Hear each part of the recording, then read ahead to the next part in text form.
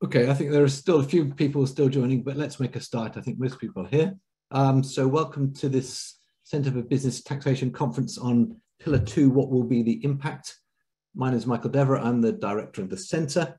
Um, and uh, a silver lining of the pandemic is that because we're online, we have people joining us from all over the world, and we have many more people uh, attending today than we would have done if we had had it in a lecture theatre in Oxford. So uh, welcome to everybody, wherever you happen to be.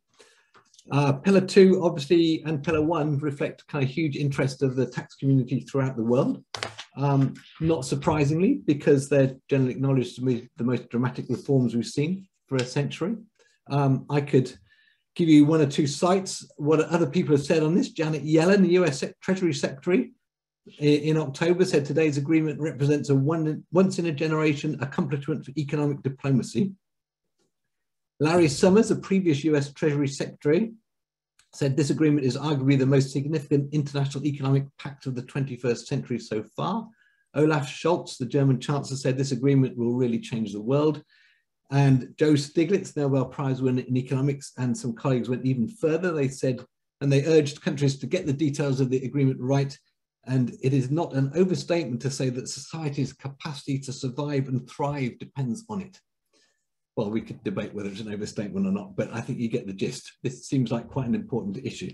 Um, today, we're going to focus on pillar two, drawing on you know, recent publications by the OECD, the model rules in December, and the commentary and technical guidance, which was published last month.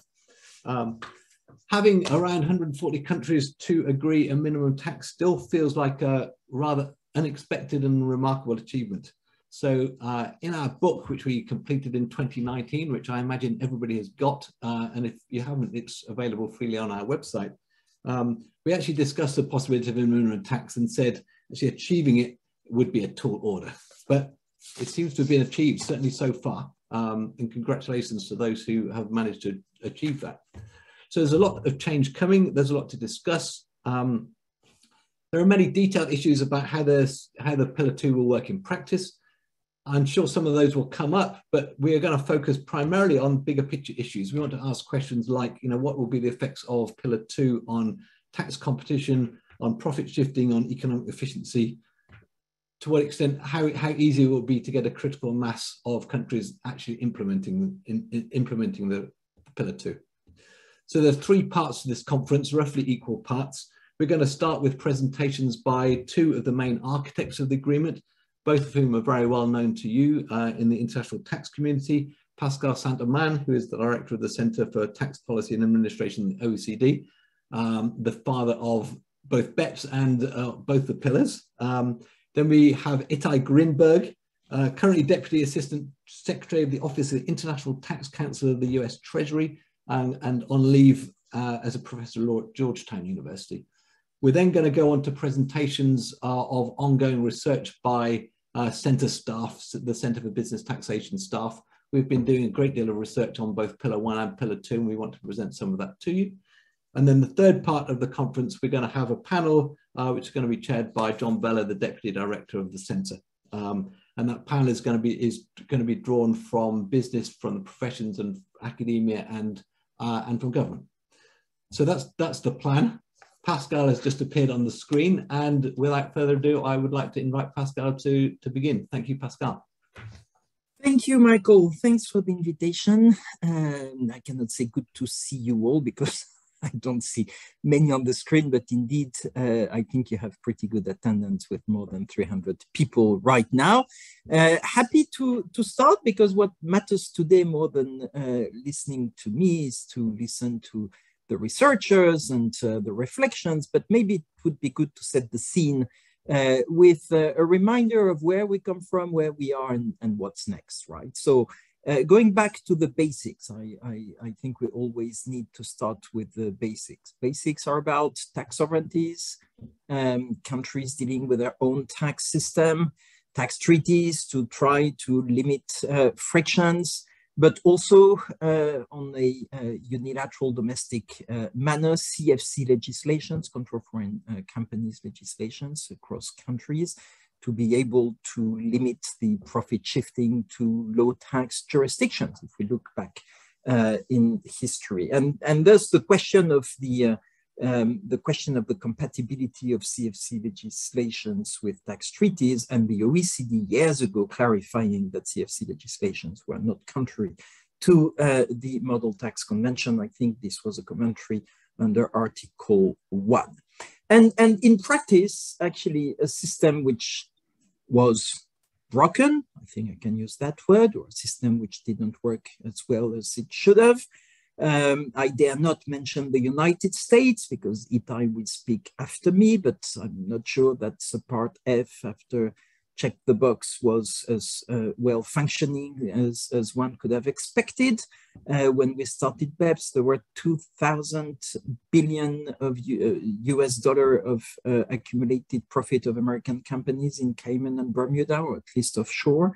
Uh, but it's not only the US, which was slightly dysfunctioning, uh, but the European Union family was also a dysfunctioning family with uh, no external border, no more internal borders, and the EU CJ uh, taking a number of decisions weakening uh, the implementation of CFC legislation, making it almost impossible to fight uh, profit shifting within uh, that uh, space. And that's against that background, which could be described otherwise as globalization without any form of tax regulation for decades that we launched in the aftermath of the global financial crisis in 2008, this exercise of introducing some form of tax regulation. We started with the end of bank secrecy, transparency, exchange of information, and we moved to BEPS, the first of the kids you listed uh, kids of mine you listed, Michael, in your introduction. So we launched BEPS and uh, with its uh, 15 uh, actions, uh, one of them was on strengthening CFC legislations, action three.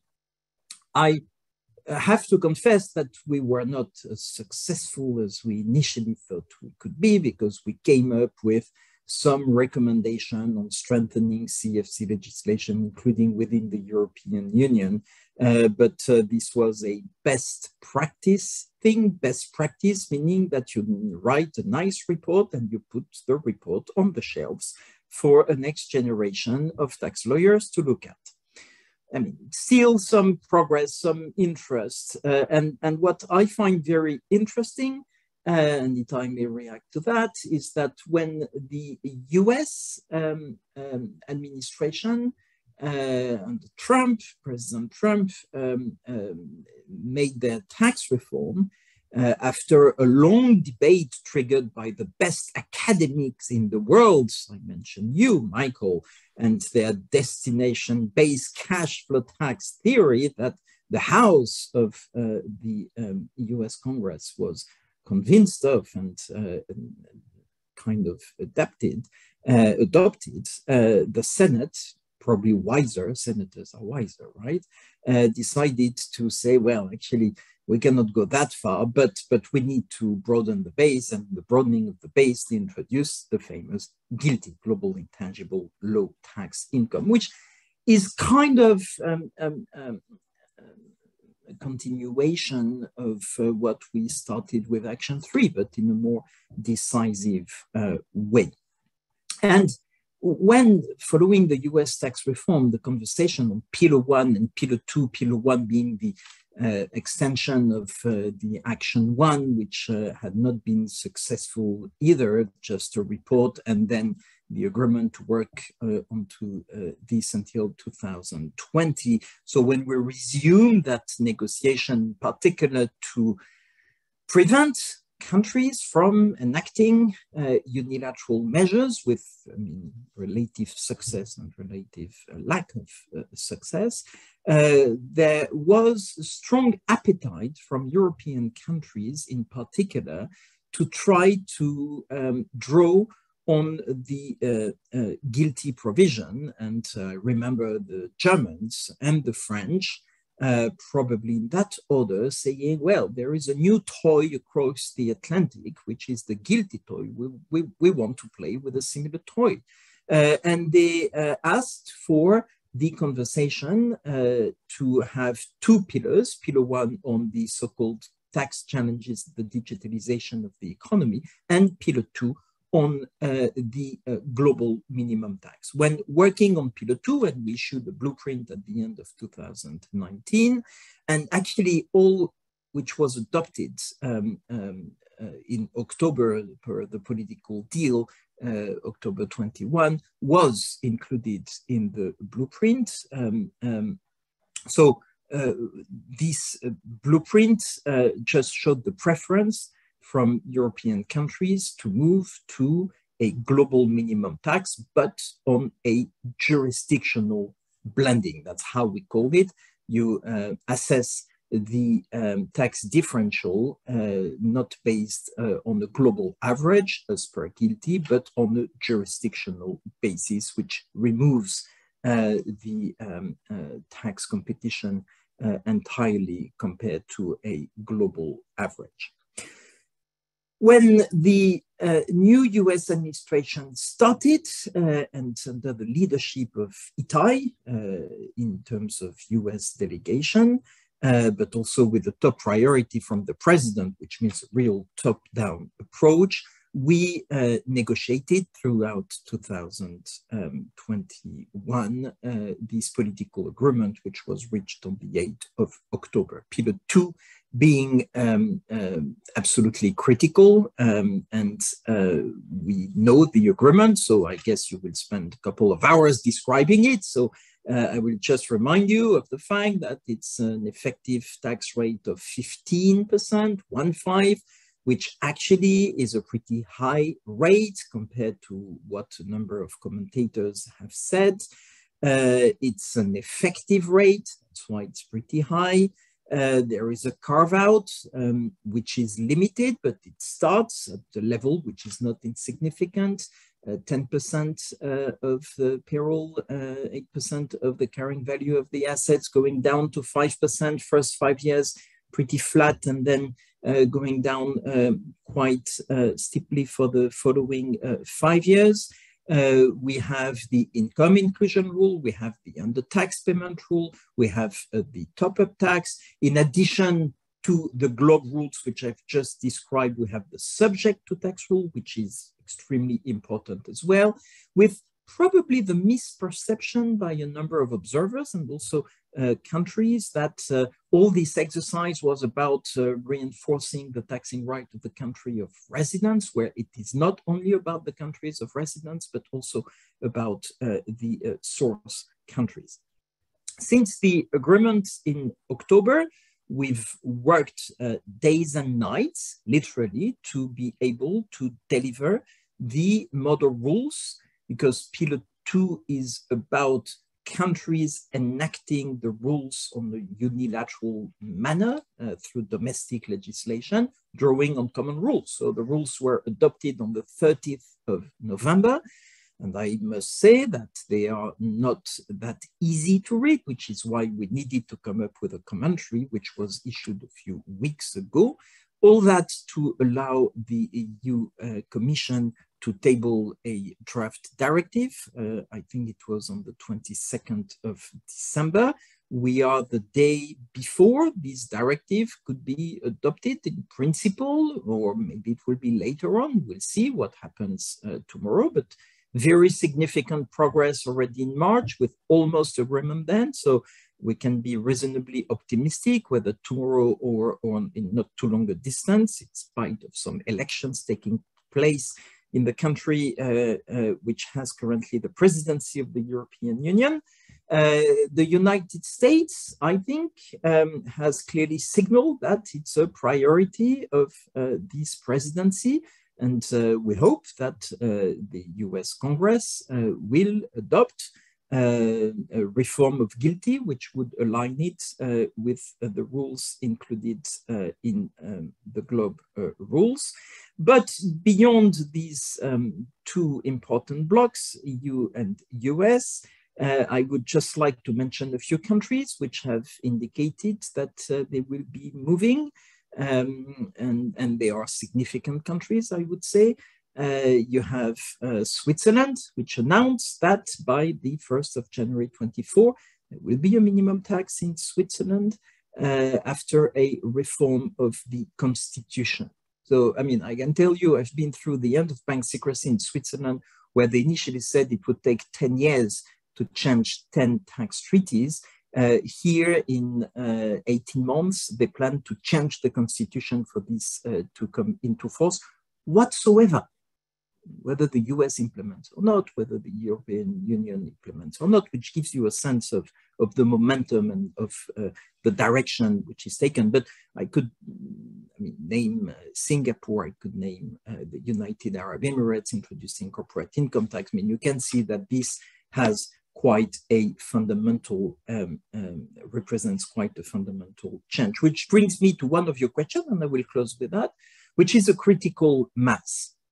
Because uh, Pillar 2 is about countries moving unilaterally. But the real question is, is what's the impact if one country moves uh, um, uh, only? Or what's the impact if not all the countries move? Which is a question we, we had from a number of journalists. Yeah, but what about Cayman Islands if, if the Cayman Islands uh, do not move? Well, doesn't matter. What you need is enough countries which will implement the income inclusion rule, enough countries which will do the under tax payment rule. And that's, that's what I would call the critical mass. And we have very strong signal from the G7, from the G20, from developing countries as well, uh, from low tax jurisdictions with the top up tax, that you have this convergence towards um, uh, a critical mass, which will change the dynamic of uh, tax planning, which will change the dynamic of profit shifting.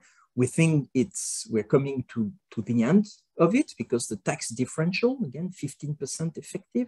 So the tax differential will probably be too small to engage in very sophisticated planning. You do that when you have a difference of uh, at least 10, 15 points. When you have a difference of a few points, maybe you will not do it, noting that we should compare the 15% effective to the current, I don't know what's the rate, zero, one, two, three percent and not to the domestic rate, which is a different story. Last thing and food for thought, uh, because I didn't see that in your paper, um, uh, and, and uh, that's the question. It doesn't keep me awake at night, but I really reflect on this, which is the impact on tax incentives in developing countries in particular, because developing countries said that Pillar 2 was not really their priority, was not really for them, while actually I tend to think that you have a volume of wasteful tax incentive. I can see Vicky Perry on the panel at some point, and Vicky worked on all that uh, when she was at the IMF.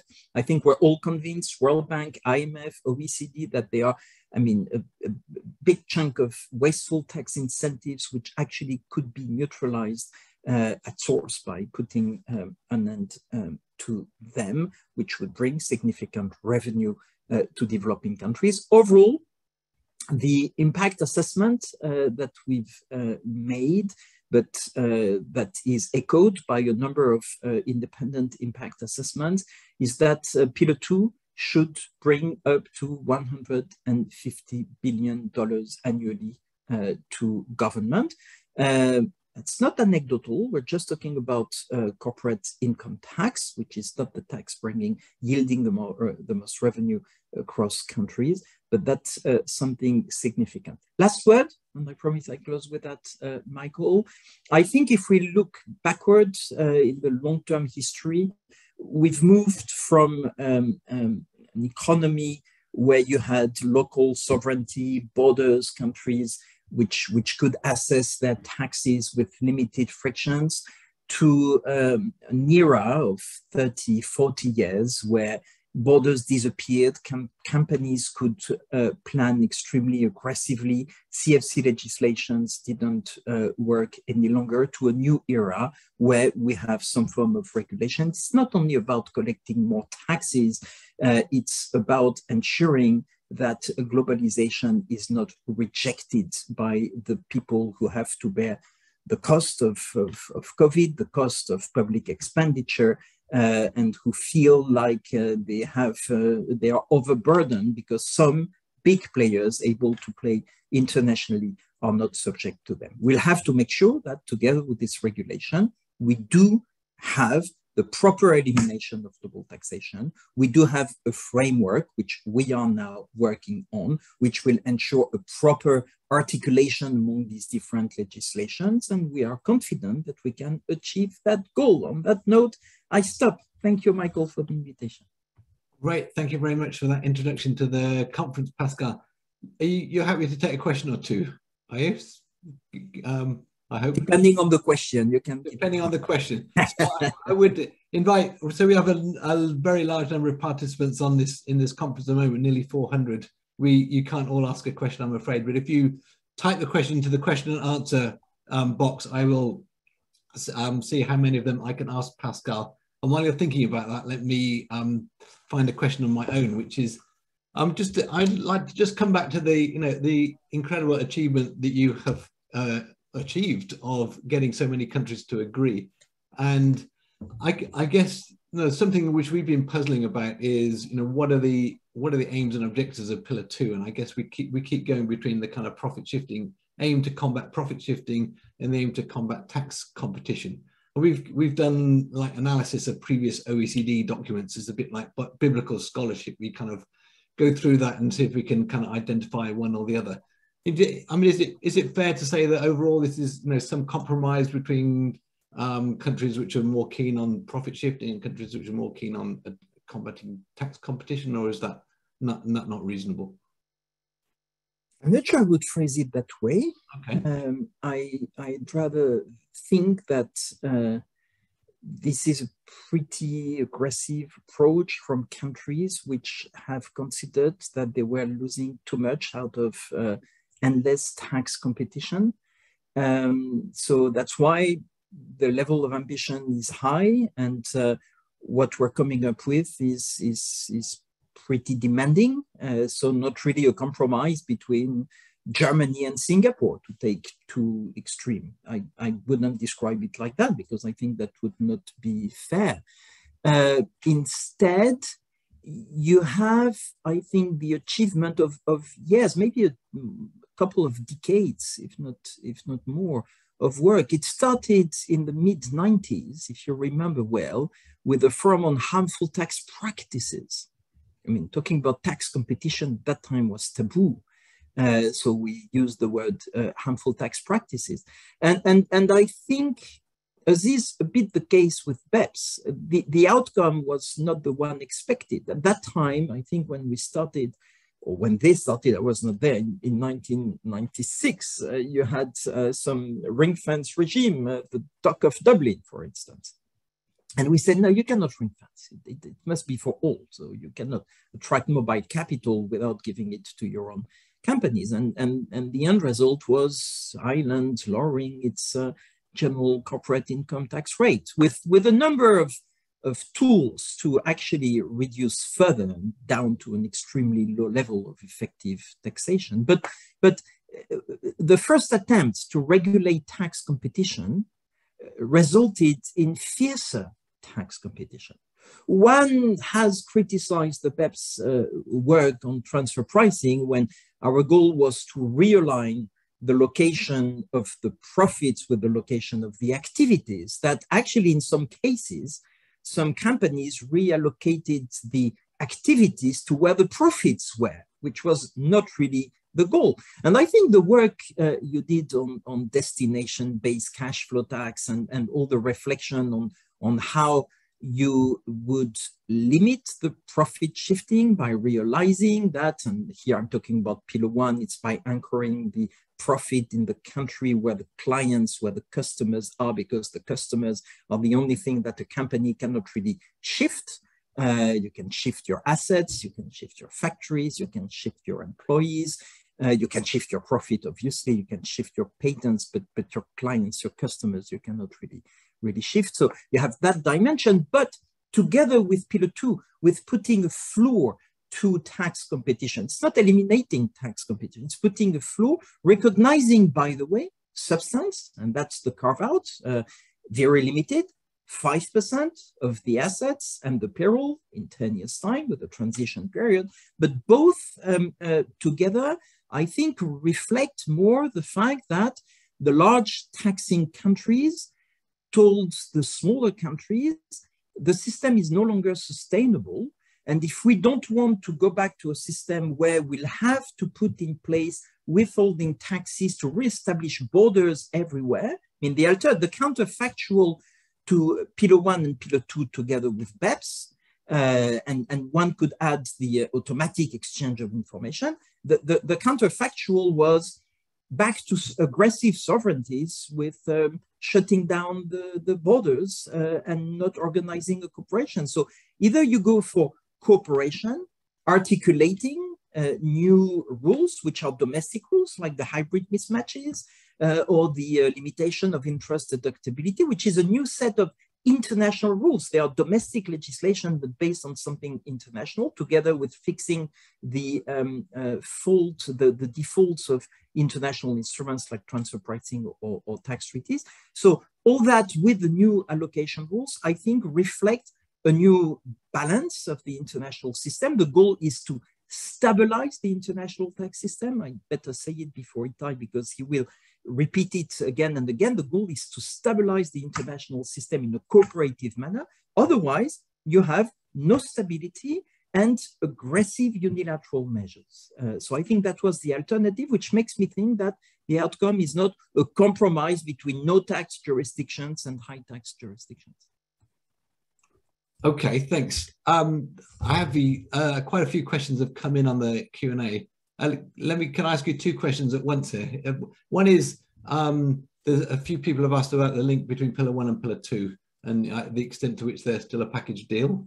Um, and then there's also a question um, about whether tax competition is going to be limited and really over or will it change form? And the suggestion here is that low tax countries can adopt QT, QDMTTs and then refund the money through grants and refundable credits.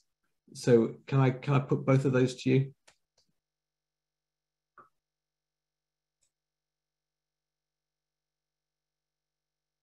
Sorry, I had, both unmute, my, so. I had to unmute myself.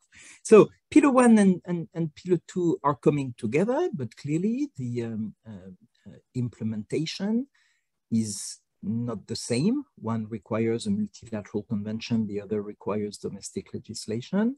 The timeline is not exactly the same. Pillar two rules are uh, now uh, ready um, and uh, countries can move. And the, the last difference, which is extremely important, is that the critical mass is not the same.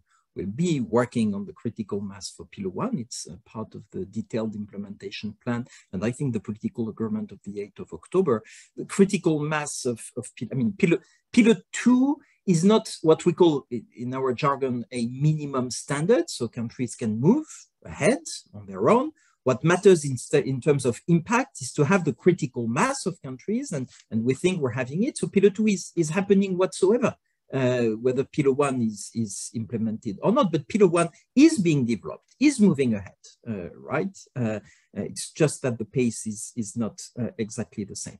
Now, the, the, the, second question is almost amusing. Um, and uh, and and and I read that uh, in the papers that your researchers are doing. I mean, I, I love paradoxes. Uh, it's Jean-Jacques Rousseau, the French philosopher, who said, I prefer to be a, a, a man of uh, paradoxes than a man of prejudices. So I love paradoxes, but, but, but still at some point, the, the paradox is, is funny, but becomes actually too funny. I mean, thinking that pillar two is a way to organize tax competition. I mean, let, let me laugh. It's, it's rather the opposite. We were in a world where tax competition resulted in some effective tax rate for multinational companies close to zero. And it's lasted for decades. We're putting an end to that. We are making sure that you have a safety net. Now, of course, and you may get into more technical details about uh, the income inclusion rule or the, the under tax payment rule and the tax adjustment or no tax adjustment and the top up tax uh, with no tax adjustment, what the consequences are. And so, but, but frankly speaking, I mean, having jurisdictions which so far did not tax, introducing a minimum tax of 15% effective is, is that the conception of people to say, oh, that is organizing tax competition? No, it is not. It's putting a floor to that. It will not result in countries being pressured to level their um, uh, tax um, uh, revenue down. Rather, the opposite. Uh, I'm not saying that will increase the, the tax rate, but it's not a pressure down. It's putting an end to the pressure down to corporate income tax, not the other way around.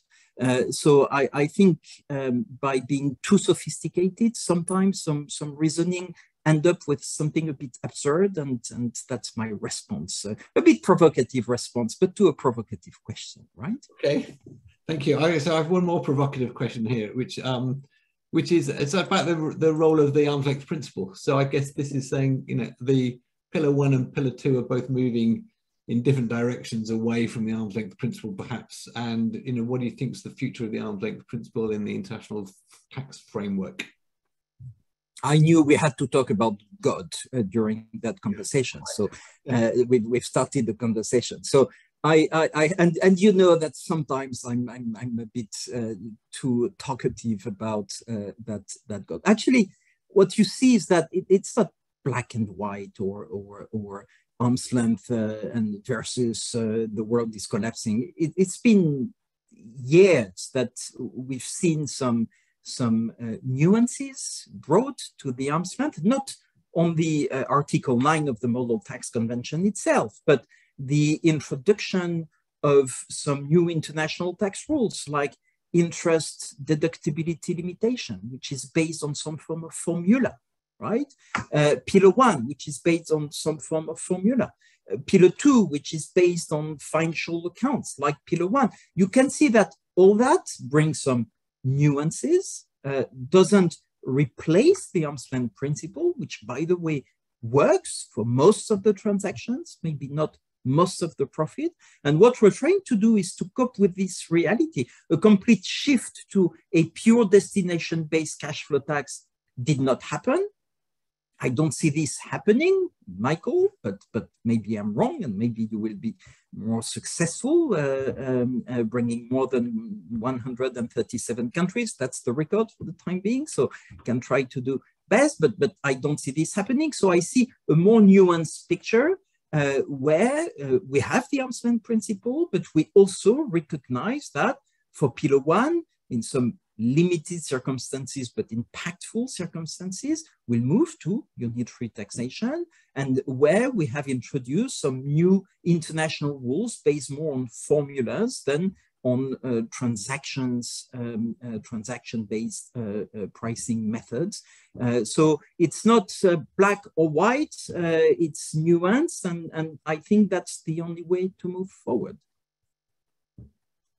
Okay, Thank you very much. These are great answers. I um, we we a bit short of time. Let me just I'm if I may I just I mean I think one day we should um, make you stay here for several hours to answer all these questions that are coming in. But today uh, let me just try one more, which is um, about the challenges of using financial accounting income for Pillar One and Pillar Two. I mean, do you do, to what extent do you feel that's uh, problematic or has has any kind of issues that we need to think about?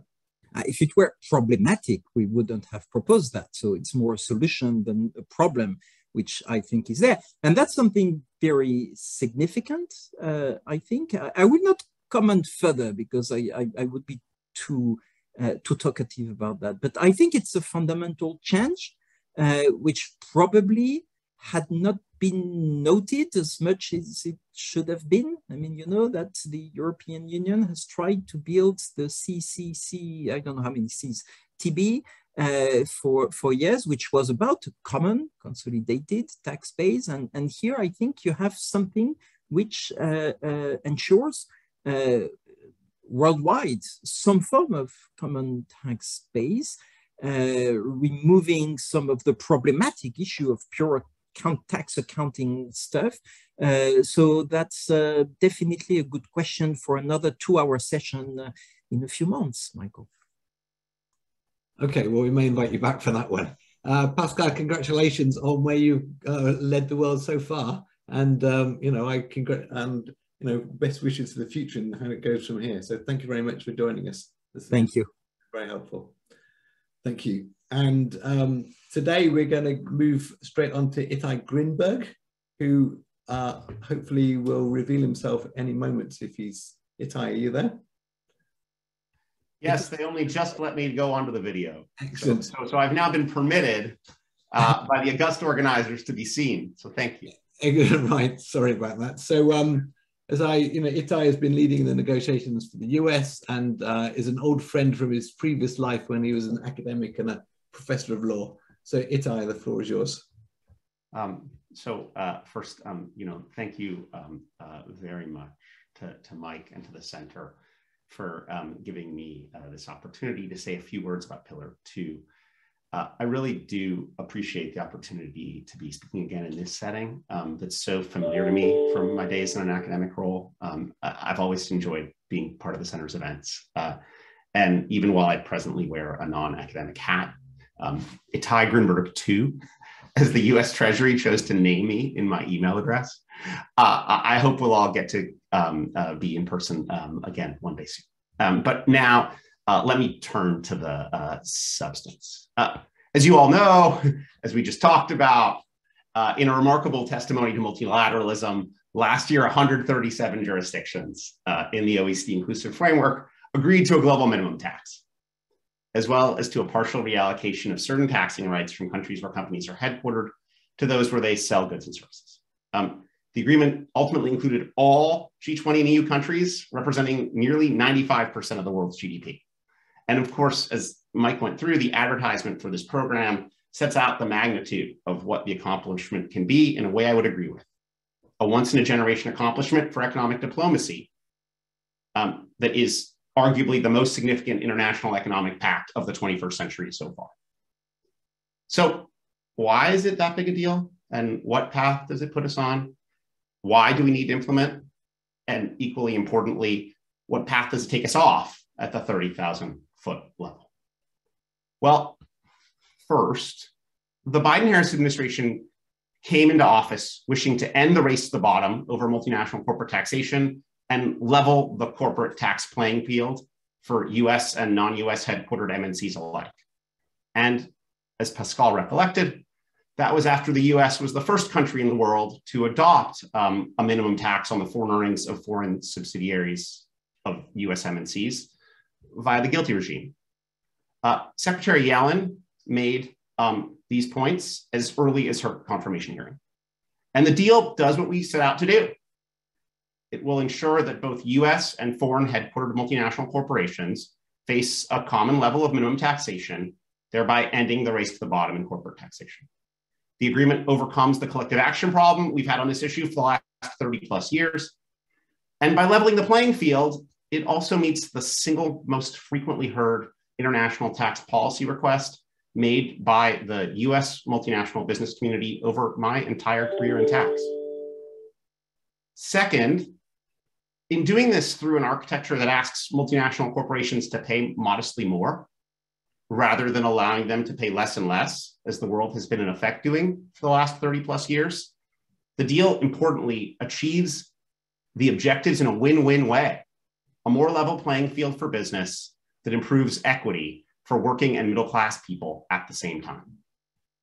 And the deal also thereby helps stabilize not only the international tax architecture, I'm laughing that Pascal said I would say the word stabilize often, uh, but the international economic architecture more broadly um, through a uh, revival of international economic multilateralism, a fair tax system, and new guardrails against tit for tat trade fights. So, why did we want to achieve all of that? Why did the US government decide to dedicate not just tax policy, but other resources to those goals? Importantly, for both international corporate tax policy and broader foreign policy reasons. That is why and how we achieved an all of government commitment to these negotiations. Now, this is clearly a tax policy audience, and that's the audience I love. But I, wanted to take this opportunity to start with the broader frame for why the Biden administration believes that this deal is more than just good tax policy that helped make the international corporate tax system fit for purpose in the 21st century. This US administration believes that by ensuring that capital and corporations pay their fair share, this deal is part of what it means to have a foreign policy for the middle class. We want to establish a tax architecture in which countries work together towards more equitable growth, innovation, and prosperity, while having a better basis on which to fund critical national priorities. And in contrast, we don't want an environment where incentive compatibility incentivizes all out tax competition. Why?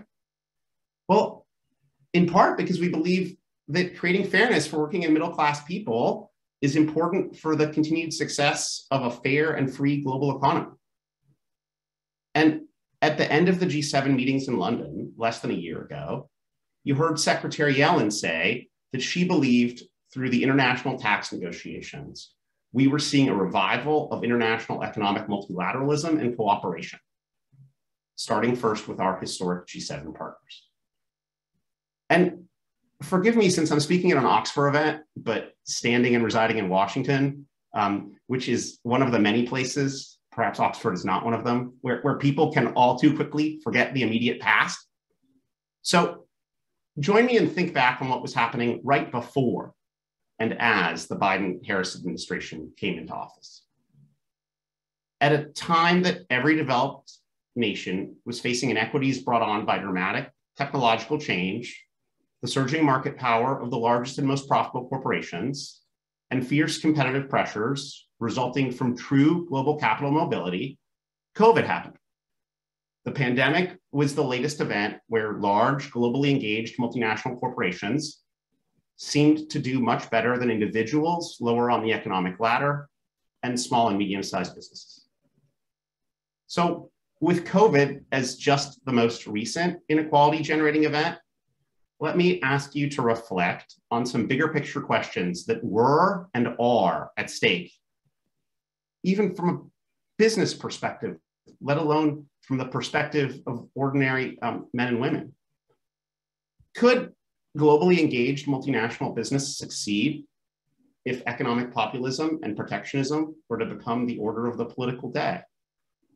How should we successfully reconcile the very substantial benefits of a free and open global economy with the increasing dissatisfaction of working and middle class people across the developed economies with a system supported by democratic governments that they have increasingly felt is failing to deliver for their needs. And symbols matter. And the corporate income tax, completely independent of its contributions from a public finance perspective, is an important and sometimes critical symbol of political concern with the distributive outcomes in a market system. And look, I serve in an administration that held a summit for democracy last year because we thought that was what was needed. Because as President Biden then said, strengthening our democratic institutions requires constant effort and around the world, we have seen sustained and alarming challenges to democracy, not just from without, but from within. And in terms of academic insight, over a couple of generations, a wide variety of economic historians, sociologists, and political scientists have all been influenced by the idea that transparent taxation of mobile assets and capital generally tends to produce more representative government. And relatedly, Addressing concerns that business pays its fair share is a necessary part of keeping economies open because public support for growth inducing policies and uh, limits on um, economic populism depend in part on that belief. And my experience in this role has suggested that when one steps up to conversation at CEO level, at the tax rates described by the global minimum tax, at least, you hear business leaders express support for those types of policies too. And that makes sense, since arguably no institutions are more invested in keeping economies open and free than are multinational corporations. And importantly, the corporate tax is an important component of the effort to keep income tax systems appropriately progressive and make sure that owners of capital bear their fair share of the tax burden. And so that is, to my mind, the geopolitical and geoeconomic frame, which then gets us to the public finance. And there, first, I can say that the US Treasury very much appreciates the Center for Business Taxation's interest in and analysis of Pillar 2 from a public finance lens. And I would also say that I'm frustrated that your good public finance work is being mischaracterized. For instance, there are those who seem to have read the center to be saying that Pillar 2 incentivizes countries to eliminate corporate income taxation entirely. When I believe the point has been that some countries that previously would have been incentivized to eliminate corporate income taxation entirely or already did not have corporate income taxes may now be incentivized to adopt a qualified domestic minimum top up tax. And that way of thinking stems from similar intellectual streams to those that led to the Biden Harris administration's proposal to eliminate QBI and GILTI. Even as we have shown ourselves willing to compromise at home and abroad to find middle ground to achieve the goal of ending the race to the bottom. In any case, as someone who has drafted letters that in part had to respond to mischaracterizations of the center's work, I would urge your authors to speak up when their work is being mischaracterized. And as a once and future academic, I would point out that unless you do that, good public finance research can end up being counterproductive. So, with that put aside, let me frame the public finance analysis the way I see it, in part by quoting the center's own scholars to both describe the problem and frame what has been accomplished as the solution. So, eight years ago, some of the participants on the panels uh, wrote that the corporate international tax system, as it existed before Pillar 2, encouraged, quote, countries to compete with one another in a manner which destabilizes the system itself. Countries compete to attract economic activity and to favor domestic companies, which for at least 30 years has led to gradual reductions in effective rates of taxation of profit. And um, uh, compare that with the most recent writing from the center, which recognizes that Pillar 2, for the first time in history, places a meaningful floor on the race to the bottom in corporate taxation, understood as the amount of income tax corporations pay in countries where they are operating, whether under a corporate income tax without the substance-based carve-out rules agreed for purposes of the IIR and QDMTT, or with such rules in place. For instance, the center has pointed out that Pillar 2 changes the choice set by ensuring that a country can introduce a QDMTT in the quote safe knowledge that this would not impinge on its competitive position because the top up tax would be collected by another country if it's not collected through the QDMTT. And importantly, the QDMTT speaks to just a relatively limited subset of companies, and countries have incentives to have a broader corporate income tax for all sorts of reasons. And to use non QDMTT rules to do so, and are unlikely to exempt the biggest companies from those non-QDMTT rules. In other words, a key feature of Pillar 2, as now structured, is to create incentive compatibility for a meaningful corporate tax, at least once a critical mass of countries adopts the regime, which is to say that um, it will eliminate the incentives for countries to compete with each other to undermine the system. Rather, countries have strong incentives to join the system and as an uh, illustrious group of writers wrote a few years ago in a book that uh, Mike um, decided to uh, uh publicize in his opening remarks, um, uh,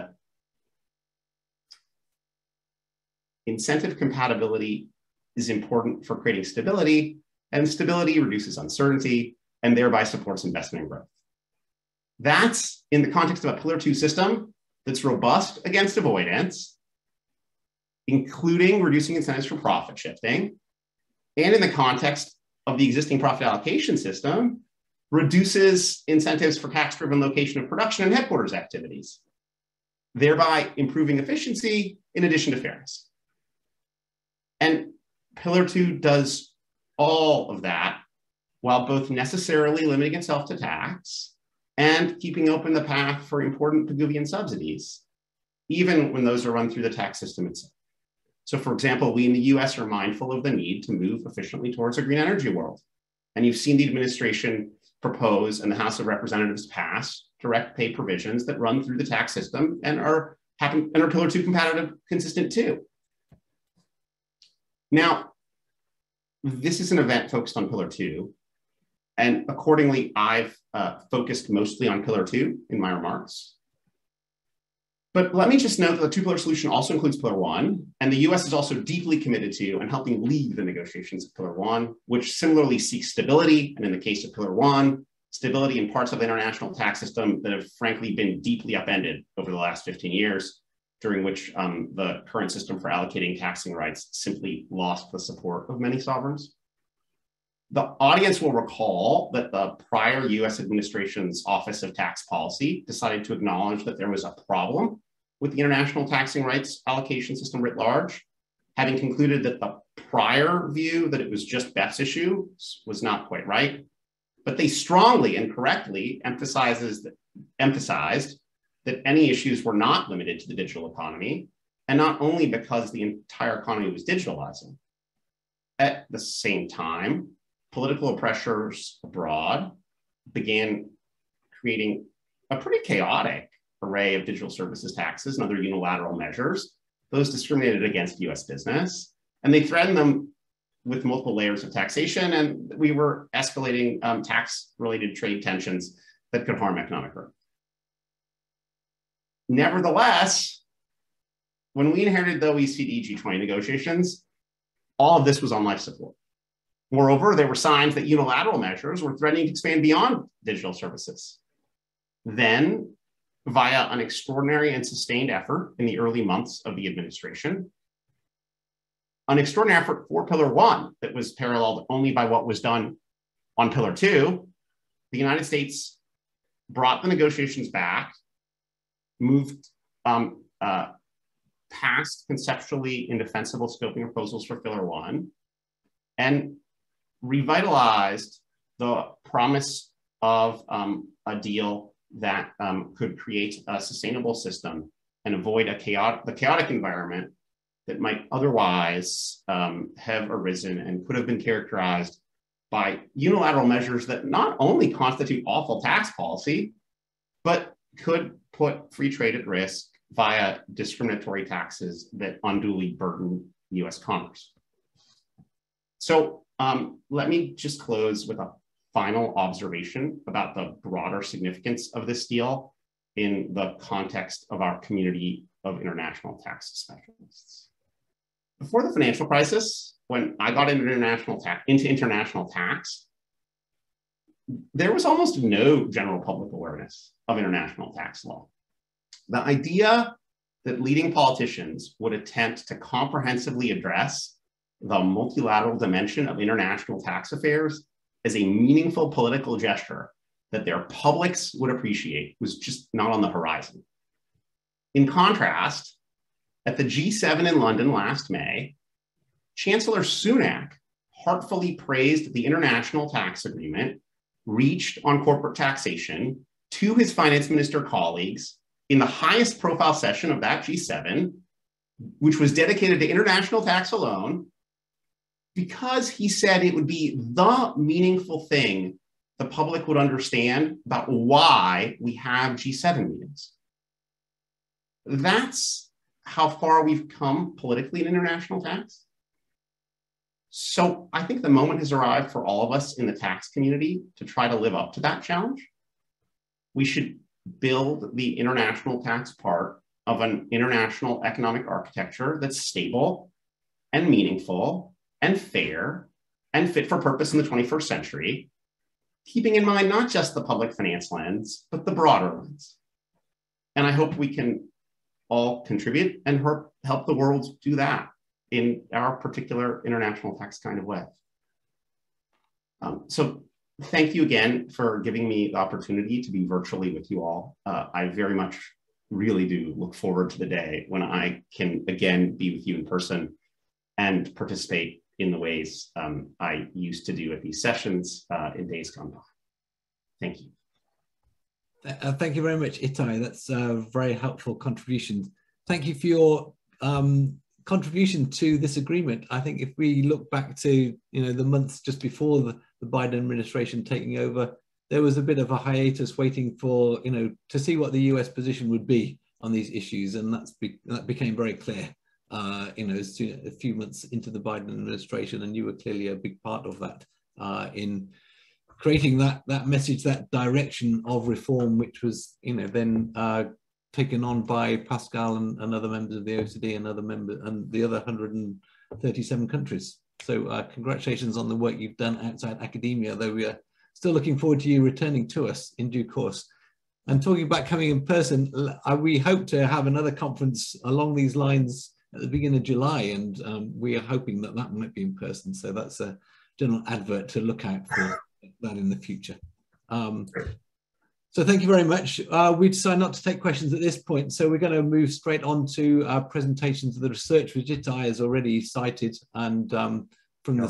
so thank you uh, Itai and and Pascal who's still there came on briefly. I I don't know whether Pascal showed his his face because he wanted to say something or no. Okay. Thank no. you both very much. Good good to see you and thanks for the invitation, Michael. Have a good conference. Thank you, Pascal. Thank you. Thank you very much. I'm sorry I have to go. Bye-bye. Thank you. Thanks. So uh, we're now moving on to the second part of the conference then, uh, and that is a bit of a change of scene. We are going to uh, have presentations by four of uh, the Centre for Business Taxation researchers. We've been doing a great deal of work on both Pillars 1 and Pillar 2, and we would like to present some of it to you. So actually let me invite all, all of the speakers of this part to, to come on screen if they would like to. Um, these presentations are going to reflect the inter, interdisciplinary nature of the research program of the center. We have the first two presentations are by lawyers, the second two presentations are by economists. Um, it's going to start with John Vella, Professor of Law in Oxford University and Deputy Director of the, of the Centre. He's going to review the aims and objectives of Pillar 2 and then focus particularly on the impact of tax competition along the lines of uh, what Pascal and Itai have, have, both been talking about. We're then going to move on to Heydon Wardell-Burrus, who's also a researcher at the Centre for Business Taxation, having previously worked in uh, practice and also as a member of Australia's delegation to the OECD in, in the negotiations and discussions on Pillar 2. And he's going to look further at some aspects of competition, including the role of qualified refundable tax credits, which we mentioned just a moment ago, and also timing differences. Then we will have Irem Güçeri. Uh, and, uh, until recently, Irem was also senior research fellow in the centre. She's now moved on to a position as associate professor in economics and public policy at the Blavatnik School of Government in Oxford. Um, she's going to talk about the work that we've been doing on both on the impact of Pillar 2, both on profit shifting and on economic efficiency. And last but not least, we have Martin Simmler, who is also a senior research fellow in the centre. And he's going to uh, present some work we've been doing using macroeconomic data to look at a number of issues. You know, one is uh, the extent to which um, Pillar 2 can get a critical mass. And second, the, the relative size of the substance-based income inclusion. So those are the four presentations. That will take about an hour with questions. So I will invite you to uh, write questions again in Q&A. And I think what we will do though is, is have the four presentations and then have questions after those. So that's the plan. And so in that point, I will hand over directly to John, who's going to make a start. Okay, thanks, Mike. And um, whilst I share my screen, I'll, I'll, apologize for to everyone for being a bit informal in my attire, but I I flew to Vienna last Friday, and my luggage is still somewhere uh, lost in Heathrow at Heathrow Airport. Um, okay, so um, I'll be addressing the issue of um, Pillar 2's impact on, on uh, tax competition. And as Mike said, uh, Mike, uh, Heydon, and myself have been um, thinking about this question, you know, to what extent and how does Pillar 2 impact tax competition? And we, we wrote a policy brief um, last January, which is available on our website and on SSRN, and which Pascal and um, Itai mentioned earlier because it has been partly misrepresented perhaps in some uh, in some quarters, and I'll explain in what way and, and, and why later on in my presentation. Uh, but since then, we've been expanding this policy brief. Uh, we expanded it quite substantially and extended it quite substantially. So, um, and the outcome of that will be a working paper, which we should be able to share um, in the coming days. But essentially, I think the um, our headline conclusion on the impact of Pillar 2 on tax competition is that uh, Pillar 2 will have an impact on tax competition. But it might be um, not as straightforward as one might think and perhaps um, less or certainly less straightforward than some politicians have uh, made it out uh, to be. But you know, in a way, we shouldn't be too surprised about that because um, you know I know Pascal pushed back against, against this earlier, but you know, I do think Pillar 2 is a bit of a political compromise because, as we know, uh, countries were divided in their view on what Pillar 2 should do. So, some country, and this actually comes out of the inclusive framework documentation if you go back to it. So, you know, there was a tension among countries. You know, some countries wanted Pillar 2 to address tax competition quite fully, um, whilst other countries wanted or were in favor of a less ambitious Pillar 2 and a Pillar 2 which essentially focused on profit shifting.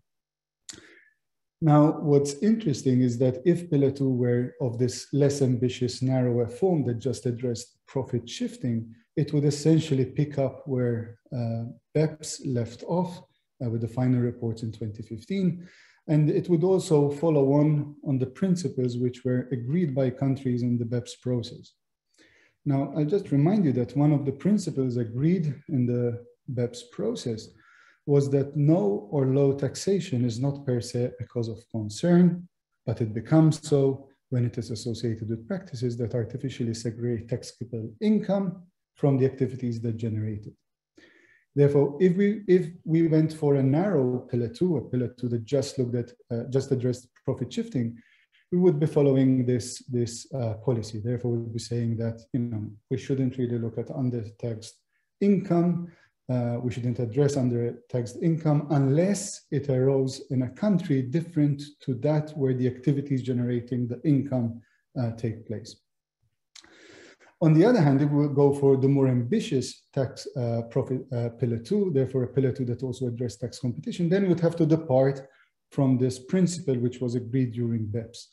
And therefore, if uh, pillar two was to address tax competition, then we would be saying no or low taxation is now deemed to be per se a cause of concern. And therefore, undertaxed income should be addressed even if it arises in the same country where the activities generating that income take place. Okay, so there's this broad, um, you know, disagreement among countries as to whether to have a narrow pillar two or a more ambitious pillar two that address tax competition more fully. And my take is that what we end up with is a political compromise. Therefore, we have a global minimum tax, but we also have uh, a limited formulaic substance-based carve-out, what was called substance-based carve-out, and is now uh, known as the substance-based income exclusion. Okay, so what I'd like to do is to um, actually run you through two of the uh, headline conclusions we reached in our work on, on the impact of Pillar 2 on tax competition. But before doing so, it's useful to remind ourselves on how the top-up tax calculation um, is, is done. And it's essentially done in three steps. So the first step is to calculate the effective tax rate. And we do that by dividing adjusted covered taxes by the adjusted globe income. Therefore, if you have 100 of tax in a, in a jurisdiction and a thousand of income, that gives you an effective tax rate of 10%, for example. Right, so that's the first step. We figure out what the effective tax rate is. Then the top-up rate is 15% minus the ETR. Therefore, if the ETR is 10, as it was in my example, then we'd have a top-up rate of uh, 5%. Now, once we have the top-up rate, we can therefore find, then we can then find what the uh, top-up tax liability is. And to explain that, I'll, I'll, I'll, first focus on the black bit, which is the, which is the bit we had um, until the model uh, rules were published in December, uh, last December, so December 2021. So we essentially multiply excess profit, which is defined as adjusted globe income less SBIE, less carve out. So we take excess profit, which is income less the carve out, and we multiply that by the top-up rate. Okay, so we had a thousand of income and 500 of carve-out. That gives us excess profit of 500. If the top-up rate is 5%, we apply 5% of 500. That is the top-up tax due. And that can be collected by countries through the IIR, the income inclusion rule, let's say the country of the parent entity can collect that through the IIR, or failing that, it can be collected by some other country or a number of countries through the UTPR. So that's the position um, as it as we understood it, at least till the model rules were published last December. But the model rules also introduced this term in the equation, which is the qualified domestic minimum top-up tax, the QDMTT. And you know, so the QDMTT wasn't discussed as far as I'm aware in any public documentation, uh, but it really has a very significant impact on Pillar 2. It has a very significant impact on the distributional um, consequences of Pillar 2, and it has a significant impact on the impact of Pillar 2 on tax competition. So it's really a very significant addition um, to, to the Pillar 2 framework. But what it does essentially is it bumps up uh, source countries to the front of the queue. And this, in a way, it goes back to what Pascal was saying earlier, that Pillar 2 shouldn't be understood as uh, reinforcing residence-based taxation, especially with the QDMTT. It becomes quite clear that what you get with uh, Pillar 2 and the QDMTT is in a way you're reinforcing source-based taxation. So Pillar 2, sorry, the QDMTT allows the source, the source country to um, jump right to the front of the queue. In other words, if there's a top-up tax, um, you know, um, the source country can come in and collect it through the QDMTT rather than allow another country to collect it through the IIR or through the UTPR. And the one immediate conclusion we can reach then is that countries have a pretty strong incentive to introduce a QDMTT even if their tax rate is comfortably above 15%. Why? Because if there is any other, if there for some reason a, country, a company happens to have an ETR which falls below um, the 15% minimum rate, then there's a top-up tax due, and rather than have another country collect the tax, the QDMTT allows the source country to collect the tax. And importantly, by adopting a QDMTT, a country does not worsen its competitive position right? Because the tax would have been collected by another country anyway.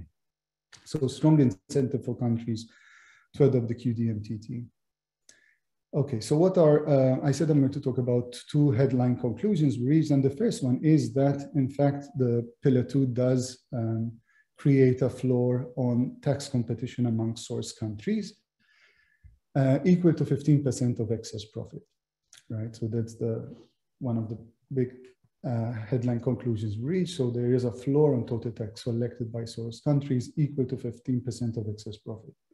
Now that conclusion is subject to qualification uh, because as Heydon will describe, will explain later on, there are competition channels that countries may choose to pursue, which allows them to break through this floor and therefore allow multinationals to pay less than 15% of excess profit through grants or through the qualified refundable tax credits, but I'll leave that to Heydon. So there is, you know, yes, a floor is created, um, but subject to the subject to the comments which Heydon will make later on. Now, it's in, interesting, perhaps as a matter of history uh, at, this, at this point in time, but the QDMTT actually did make uh, a significant difference here. The QDMTT significantly alters Pillar 2's impact on tax competition. Why? Because if we had the Pillar 2 without the QDMTT, Pillar 2 would, ensure, would have ensured that multinationals pay a minimum level of tax equal to 15% of excess profit, but Pillar 2 would not have placed a floor on competition among source countries. Why? Because source countries would still have had an incentive to reduce their corporation tax. But as I said, countries with the QDMTT now have an incentive to collect at least 15% of excess profit through the QDMTT, and therefore that is the floor. So if the current floor, ignoring negative taxes, is set at zero on corporation tax, now the floor is corporation tax at zero plus 15% excess pro, uh, um, a QDMTT of, of at least 15% of excess profit. Now, just to be clear, and this is uh, an important point, I think, is that Pillar 2 does not create an incentive for countries to increase their CIT rate to 15%. Now, they may do so for whatever reason, but you know, the incentive is not to create to increase your CIT rate to 15%. Because the floor, as I said, is not 15% of the corporate tax base. The floor is 15% of excess profit through the, collected through the QDMTT. Therefore, the floor is not 15% corporation tax on a, with a corporate tax base.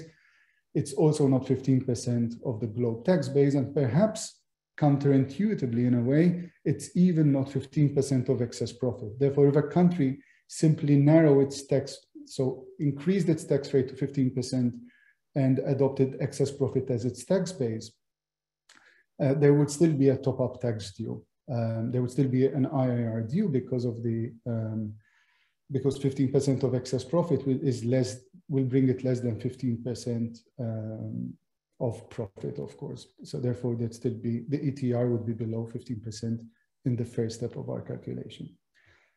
Okay, so that's the first um, that's the first uh, headline conclusion we reach. That subject to what Heydon will say, we do have um, we do have a floor on tax competition among source countries as a result of Pillar Two. Now, perhaps the more controversial bit is the one that Itai mentioned um, earlier on that was misunderstood in some quarters. So I'll, I'll explain it uh, carefully. Um, so Pillar 2 creates an incentive for, perhaps it intensifies, it strengthens the incentive for countries to reduce their corporation tax, even if they may end up collecting the same amount of tax uh, through the QDMTT. And to explain this, uh, it's easiest to use a simple example. Now, I know this example is, is, is very simple, and I know that you know the real world is more complicated, but hopefully this will just show you the kind of incentives uh, we're thinking about here. So in this example, country Y and country X are competing for uh, investment from a multinational, and the investment will gen generate 1,200 in pre-tax income if it's undertaken in country Y, but if it's undertaken in country X, it only generates 1,000 of pre-tax income. Now, if the corporate tax rate in country Y is 25%, that leaves the multinational with an after-tax income of 900, right? Because you have uh, tax liability of 300, which leaves you with an after-tax income of 900. Now, in the absence of pillar two, that's the third column here, in the absence of Pillar 2, for country X to offer the same after-tax income to the multinational, and therefore to be able to compete for the investment with country Y, country X would have to offer a tax rate of 10%. Right? So this is in the absence of Pillar 2. Why? Because in that case, the tax liability in country X would be 100, which leaves the, which leaves the multinational with after-tax income of 900. Now, this is the main point which, um, uh, you know, we, we, this is where the important bit comes. If country X were to keep the same tax rate as it had pre-pillar two, post-pillar two, country X would not be able, would, would offer, um, the multinational would earn a lower after-tax income it invests in country X than it invested in country Y. And therefore, what that means is that to offer, to, to retain its competitive position, not to improve its competitive position, just to retain its competitive position, country X would have to reduce its corporate tax rate and collect more tax through the QDMTT. So that's the claim we make. It, it might be a, a quirk of the system, but it, it certainly works out like this when you go through the details. So if country X were to keep a 10% uh, tax rate, uh, and here we're assuming that the SBIE and therefore excess profit is 500. There would be a CIT liability of 100, but there also would be a QDMTT of 25. That is 15 minus 10 gives us 5% top-up rate multiplied by the uh, excess profit of 500 it gives us 25. Therefore, total tax liability in country X of 125 and the after-tax income of 875. Therefore, country X would need to lower its tax rate because if it keeps it at 10%, the after-tax income would be lower than that, that the multinational could earn in country Y. And it would have to lower it to achieve the same after-tax income. It basically would have to lower it to 5%, which, um, you know, it's true that the, the country X would collect the difference through the um, through the QDMTT, but it still would have to go through this process of reducing its corporate tax rate and collecting the corporate tax, uh, sorry, to collect uh, the tax through the QDMTT. To, and th then it would achieve the same after tax income as it had uh, pre-Pillar 2. So those are the two headline conclusions, uh, two of the headline conclusions we reach. One, a floor is achieved on, is established on tax competition among source countries, but also the second one is that as a result of Pillar 2, countries have a stronger incentive to reduce corporation tax, and Heydon will follow on uh, with some more results on this from this work. Uh, thank you very much, John. Um, so yes, we'll hand over to Heydon to take this uh, one step further, thinking about tax credits and timing differences. Fantastic. Thank you. Just confirm that I can be heard. Wonderful.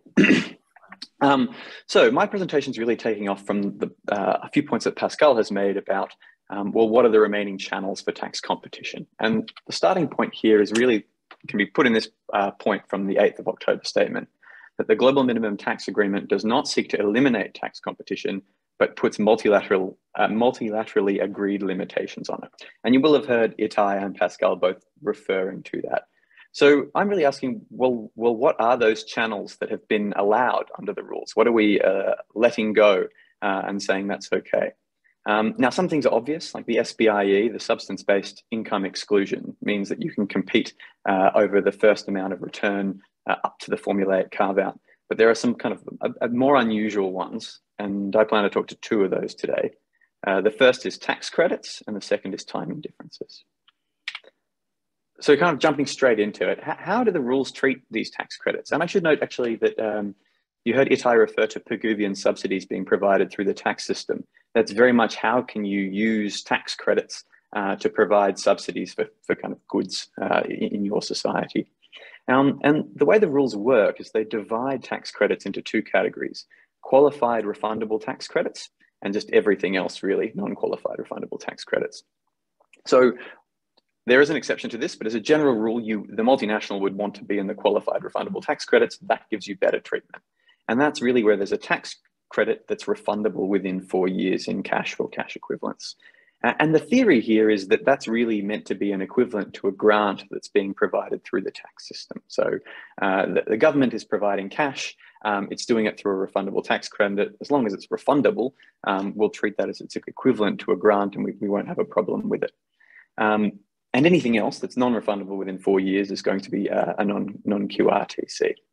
So what's the difference there? Well, starting on the right-hand side of the diagram, the non-QRTs are quite easy. They're just subtracted from covered taxes. So if you have a, uh, a starting tax liability of 15, but you have a refundable, sorry, non-refundable tax credit of 10, so you only end up paying five in tax, we're only going to treat your covered taxes as five. That's, that's pretty simple. It's as if you never paid the tax. Um, the QRTCs are the interesting ones, and that's, that's on the left-hand side of the diagram. Um, so instead of treating it as a reduction in your covered taxes, we're going to add it to your globe income. Uh, and that kicks into the rules in two places. The first is in determining your effective tax rate. So instead of your, your adjusted covered taxes on top of the globe income, you, are adding the tax credit uh, to, to the denominator uh, and you're not subtracting it from the numerator. And then it has a second kick on effect uh, again when you, when you apply um, the top up tax in, in determining the amount of excess profit. So, because QRTCs are added to the globe income, they increase your amount of excess profit. Now, I'll just run you through a quick example that makes that easier to follow. So, here I'm imagining a, a company that's made a thousand of profit uh, and it's in a, in a system with a 15% corporate income tax rate, but it also has $150 of 100, uh, qualified refundable tax credits. So from a domestic perspective, it has a tax liability of 150, but it has $150 of refundable tax credits. So it's not paying anything and it's not having anything refunded in the system. Now, at this point, I should pause and say the rules don't let you simply just make your QRTC equal to 15% of the accounting profit, but I'll, I'll come back to that in a second. So for our example, a thousand of profit, 150 uh, Uh, dollars kind of prima facie tax liability, but with $150 tax credit, nothing's paid domestically. How do the globe rules treat that? Well, the numerator, you do not subtract the, the, the tax credit from the prima facie taxes. So you're treated as if paying 150 in taxes, even though you haven't paid anything. But your denominator is increased. So you've gone up from 1,000 to 1,150. And in this example, that gives us an, an ETR of 13.04%. And then the reverse of that is a top up rate of 1.96%. Now, I've just put the SBIE here at zero. Nothing turns on that. It doesn't have to be. It just makes it kind of simpler to follow as an example. Um, so if we assume it's all excess profit in this case, um, there's no subtraction for SBIE. So we've got 1150 uh, of excess profit. And then what's our top up tax? Well, our top up tax rate is only 1.96%. So it's 1.96% multiplied by the excess profit, 1150, which gets you to $22.54. So the total amount of tax that's been paid in this jurisdiction is just $22.54. I'm assuming they've adopted a QDMTT just because it makes it easier. Um, but even if they didn't, it would just be $22.54 paid under the IIR or UTPR. Uh, it doesn't really make, make a difference. Um, so I've broken that down into, you've got $150 kind of prima facie tax liability, but you've then subtracted your $150 of tax credits, refundable tax credits, um, and then you've just had to pay a top up of $22.54. So, you, so your real tax rate on $1,000 of profit is just 2.25%. Um, so you can get very low tax rates and much lower than 15% on excess profits, as long as the reason you're getting there uh, is through qualified refundable tax credits. So they're quite a powerful tool for, for tax competition as an allowable channel. Um, but there are some limitations. But at the moment, those, those limitations really just focus on whether they're in fact refundable. They're not kind of substantive in the sense of limiting uh, the basis upon which you can provide them. So, so what does the commentary say on this? Well, the refund mechanism must have practical significance uh, for those taxpayers that will be entitled to the credit. Um, but whether that has practical significance, you don't look at the taxpayer, you look at the regime as a whole. So even if a regime doesn't produce any kind of in scope entities that are in fact getting a refund, um, the, the regime may be appropriately set up from the perspective of the rules that well, you could get one uh, in the right circumstances. And so, therefore, it's still going to be treated as a, a qualified refundable tax credit. Um, but there aren't kind of explicit limitations on the purpose for which it's, it's, it's given. Now, there's a kind of a, a difficult line in here. The commentary talks about you can't do something completely artificial, like uh, let's give everyone a 15% tax credit, uh, a tax credit equal to 15% of accounting profit, because that will never produce an actual refund. It will just constantly produce the same outcome, uh, whereby you're, you're basically not getting a refund. Uh, they wouldn't treat that as a qualified refundable tax credit. But then there's this really interesting line that says if those jurisdictions that adopt the common approach identify risks associated with the treatment of tax credits and grants that lead to unintended out outcomes, the relevant jurisdictions could be asked to consider developing further conditions for a QRTC or exploring alternative rules. Um, so they've really left themselves some space here, you know, in case something, this is, they're, they're getting outcomes that they think are, are unintentional. Um, maybe further rules that aren't currently uh, contained in the rules uh, could be developed. Um, but, but it's pretty non-committal here, talking about developing further conditions and exploring alternate rules. Uh, and it is probably worth noting, noting, the wording here. The jurisdictions that adopt the common approach, I mean, this, this seems to be, written, this, to me, this reads as saying those that are applying the income inclusion rule, um, uh, not necessarily uh, those that have just, you know, signed up as one of the 137, uh, but, but don't adopt the rules, don't make any changes to their own tax systems. So that's the first part, how, how tax credits can be used. Second part is timing differences. Some of you will be very across this and others less so. Um, this is my diagrammatic attempt at showing kind of how the rules deal with um, uh, timing differences. So I've got two colored circles here.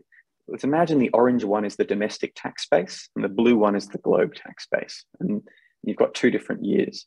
Now, the rules recognize that the easiest example here is accelerated depreciation quite commonly a domestic tax system will offer a greater deduction uh, in an earlier year than the globe uh, base will, which means that the domestic tax base will shrink and it will be smaller compared to the globe base.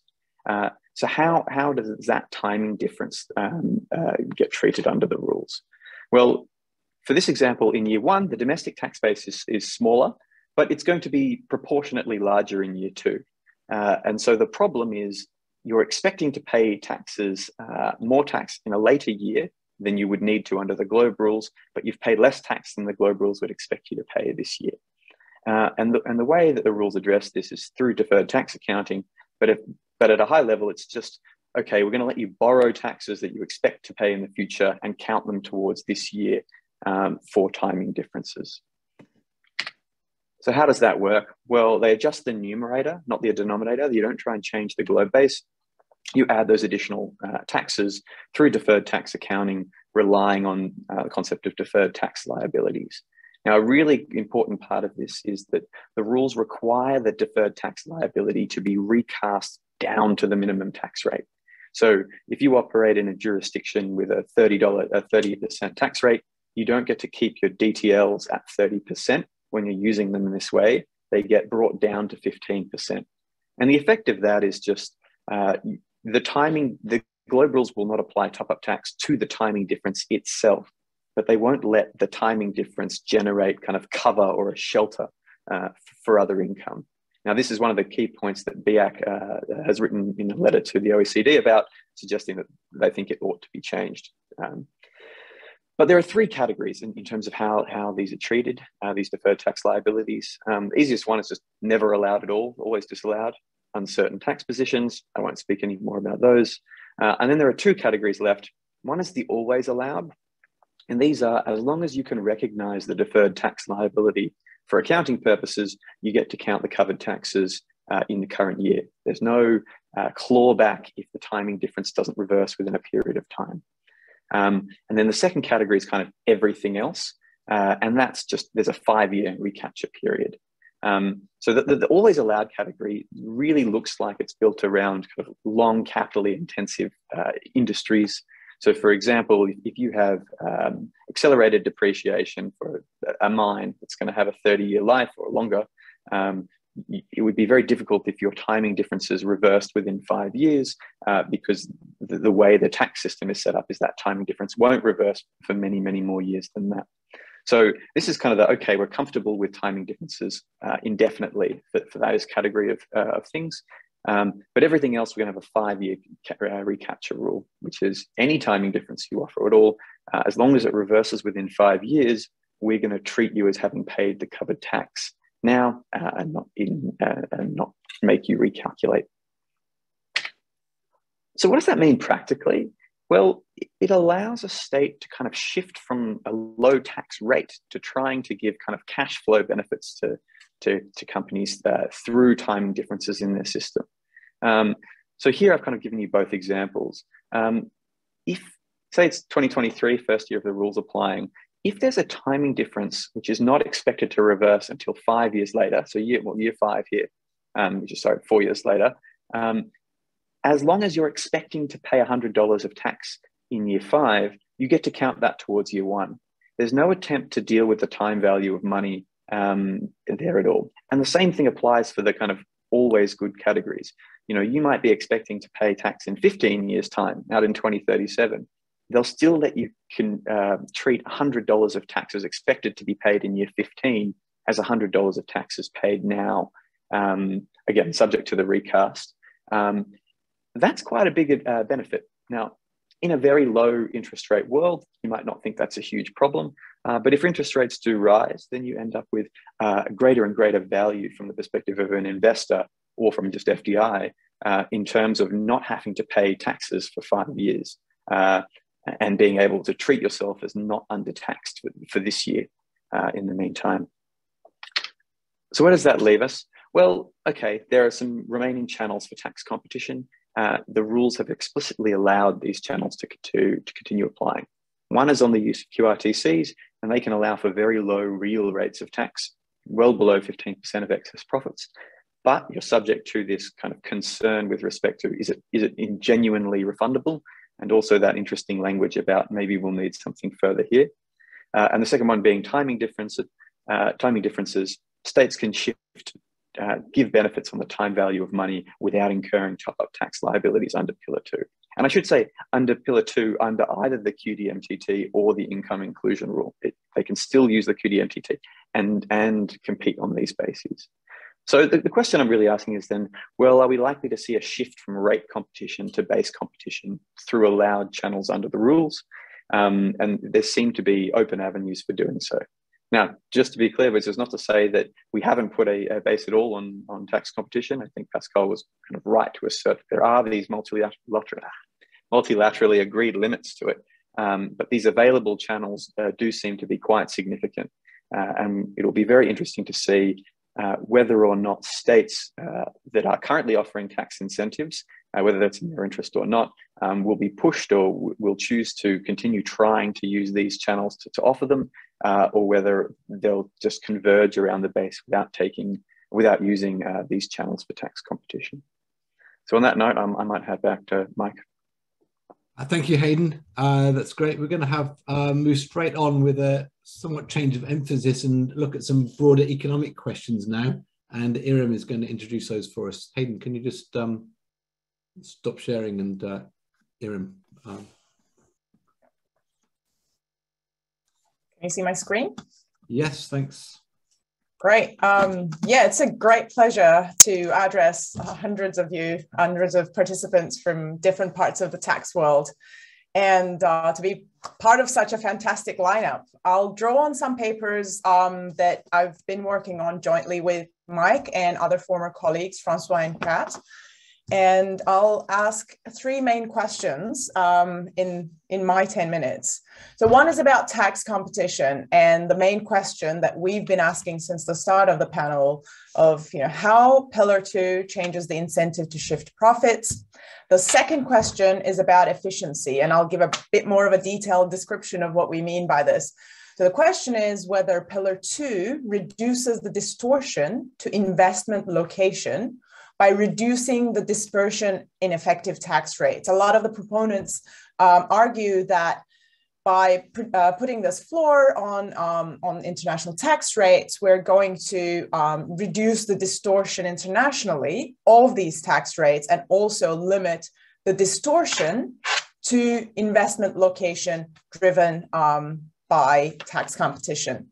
And finally, the question about investment. Now I get to the opponents and say, well, pillar two might you know curb investment and you know we're going to lose jobs um, big investment big capital. So we asked the question about whether pillar two depresses investment and other real activity by multinationals and would it would do so if, if it does it would do so by raising the required rate of return on investments the background work uh, towards this draws on two projects and working papers on these will um, soon be available. One is uh, going back to Mike's uh, original work in 1998 with Rachel Griffith on effective average tax rates to describe how uh, multinational chooses choose their investment location. What we do here is that we incorporate profit shifting and the minimum tax threshold rates to the effective average um, tax rate framework, which I'll um, call EATR framework, which already incorporates the financial return depreciation and investment incentives, um, such as patent boxes, R&D tax breaks, or um, you know accelerated depreciation, accounted for in um, location choice. Now, we also have a more complicated model to talk about. In a separate paper, we have a more complicated paper to talk about how multinationals invest in productive capital alongside um, you know, investments in a network of tax haven, low tax, and high tax country subsidiaries to lower global tax liability. We call that a structural model, and we have an estimation strategy in relation to that. What that model allows us to do is to talk about how investment incentives and also profit shifting incentives out of higher tax jurisdictions um, change with the introduction of different with, with, the introduction of any tax rate changes. So it gives us a framework to actually simulate uh, lots of different um, tax changes in the international tax system what that allows us to say is um, something about you know the differences or the heterogeneities across different types of firms those that you know shift a bit of profit um, to tax havens and also those that shift you know, almost all of their profit to tax um, tax havens. And it really allows us to look at that higher end of the distribution and say something about um, the changes in multinationals with any positive profit in high tax jurisdictions. We call that extensive uh, margin responses to, um, you know, in, in, in terms of profit shifting. Let me step back and talk about what I mean by the EATR framework, because you know not everyone is academics. You don't have to remember the Devereux Griffith uh, 98 framework. What it does is to say, um, let's think about a multinational, and it's choosing between an investment project in a high tax or in a low tax country. So the multinational chooses the location, which will yield the highest post tax profit. Post-tax profit, of course, depends on economic conditions, which kind of gives us uh, the pre-tax profit in each potential host country and the proportion of profit that is levied in tax, typically measured by an effective average tax rate. So we combine the economic conditions with the tax um, environment, including any incentives and the rates. So the base and the rate um, related measures are both included. We then take a whole bunch of OECD countries that we um, observe in our Center for Business Taxation um, tax database, and we simulate the effect of the global minimum tax at different threshold rates. So if we look at the you know, zero rate here on this horizontal axis, that's basically a world, the, the world that we live in. There's no um, global minimum tax. And then as we move along this axis, what we have is a higher and higher global minimum tax threshold rate. Of course, the current discussion, under the current discussion, we're at exactly at the middle of this graph at the 15% minimum rate. What are these lines doing? The line, the blue line is showing us the proportion of profit shifted from an average representative OECD country out to a tax haven, right? So, so it's the profit shifting share, share of profits shifted. So as we have a higher and higher minimum tax threshold, and let me take us all the way to 15%, we see a halving almost of um, profits shifted out of the average um, OECD country.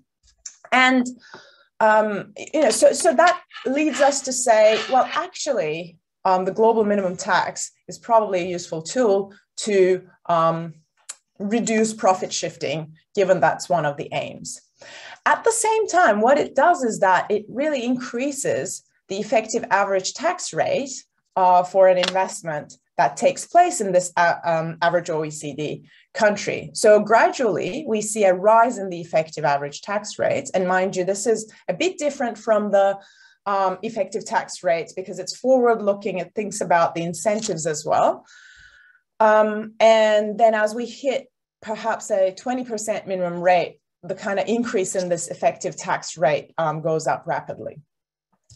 How about the dispersion of tax rates across different countries. And, and a good measure of dispersion is the standard deviation. And we have different lines here. I'll draw your attention initially to just the red line here, and then I'll explain what the different lines do. But as the global minimum rate threshold increases, gradually, the dispersion across tax rates also increase. Hey, this is counterintuitive. Like what the argument here is, is that we expect a harmonization of tax rates, and therefore we should expect this dispersion to reduce. But what happens is that at the low rates of the global minimum tax threshold, we observe that the impact on high tax countries' tax rates, effective, effective average tax rates in high tax countries, rise more than they do in um, low tax jurisdictions, and therefore the dispersion initially increases. After about you know 10, 12 uh, percent um, minimum rate threshold, and at the 15%, let me get here, we're about the same place where we've started. So in terms of efficiency gains, we kind of go back to square number one. Um, so we've started, we've raised the dispersion, but now we've dropped it. Looking at this graph, actually a higher and higher rate is going to give us higher and higher efficiency gains. So one might um, say, oh, why don't we then set a very high global minimum tax um, threshold rate? But of course, that's going to have implications in terms of investment. Now, what are the different lines that we see here? These are different assumptions related to how multinationals respond to differentials between uh, tax rates between two jurisdictions. So it's, it can be thought of as the response um, in terms of profit shifting to a change in the differential between um, the you know high tax country tax rate or, or the home tax country um, home country tax rate and either the minimum rate or the tax haven rate if there is no minimum rate. So they, there, these are different assumptions on firms' responses, but changes in those assumptions doesn't change the main takeaway message from this graph. What is our takeaway? Impact on the dispersion of tax rates varies based on the Pillar 2 threshold. So for low values of the um, Pillar 2 threshold, actually the introduction of the minimum tax increases EATRs more in high tax countries relative to low tax countries, increasing the dispersion. For high values of the threshold, more low tax countries um, set their tax rate at the threshold, and this move by uh, lower tax countries actually reduces uh, the dispersion. Now we get to, uh, then why don't we set a very high rate, high threshold rate? Well, that's going to increase the cost of capital, and the cost of capital has a direct implication on, on investment. If we again look at the um, OECD average, at a zero percent minimum rate, so in the absence of the global minimum tax, um, you can go, this is a publicly available data set. You can um, go and calculate actually based on pre-pandemic um, tax environments of OECD countries, an average cost of capital of 6.25. If we had a minimum rate threshold of 15%, that takes us up to 6.59, which is an increase of 5.4% um, percent in cost of capital. Now, if you know, like we, we can simulate various different scenarios. If that minimum rate threshold increases to 25%, then the average cost of capital rises to 6.85. That means uh, close to a 10% increase in cost of capital. But what does that mean for the change in investment? That takes us to earlier um, works on, you know, um, the, the, the response of investment to tax rate um, changes or the tax environment changes.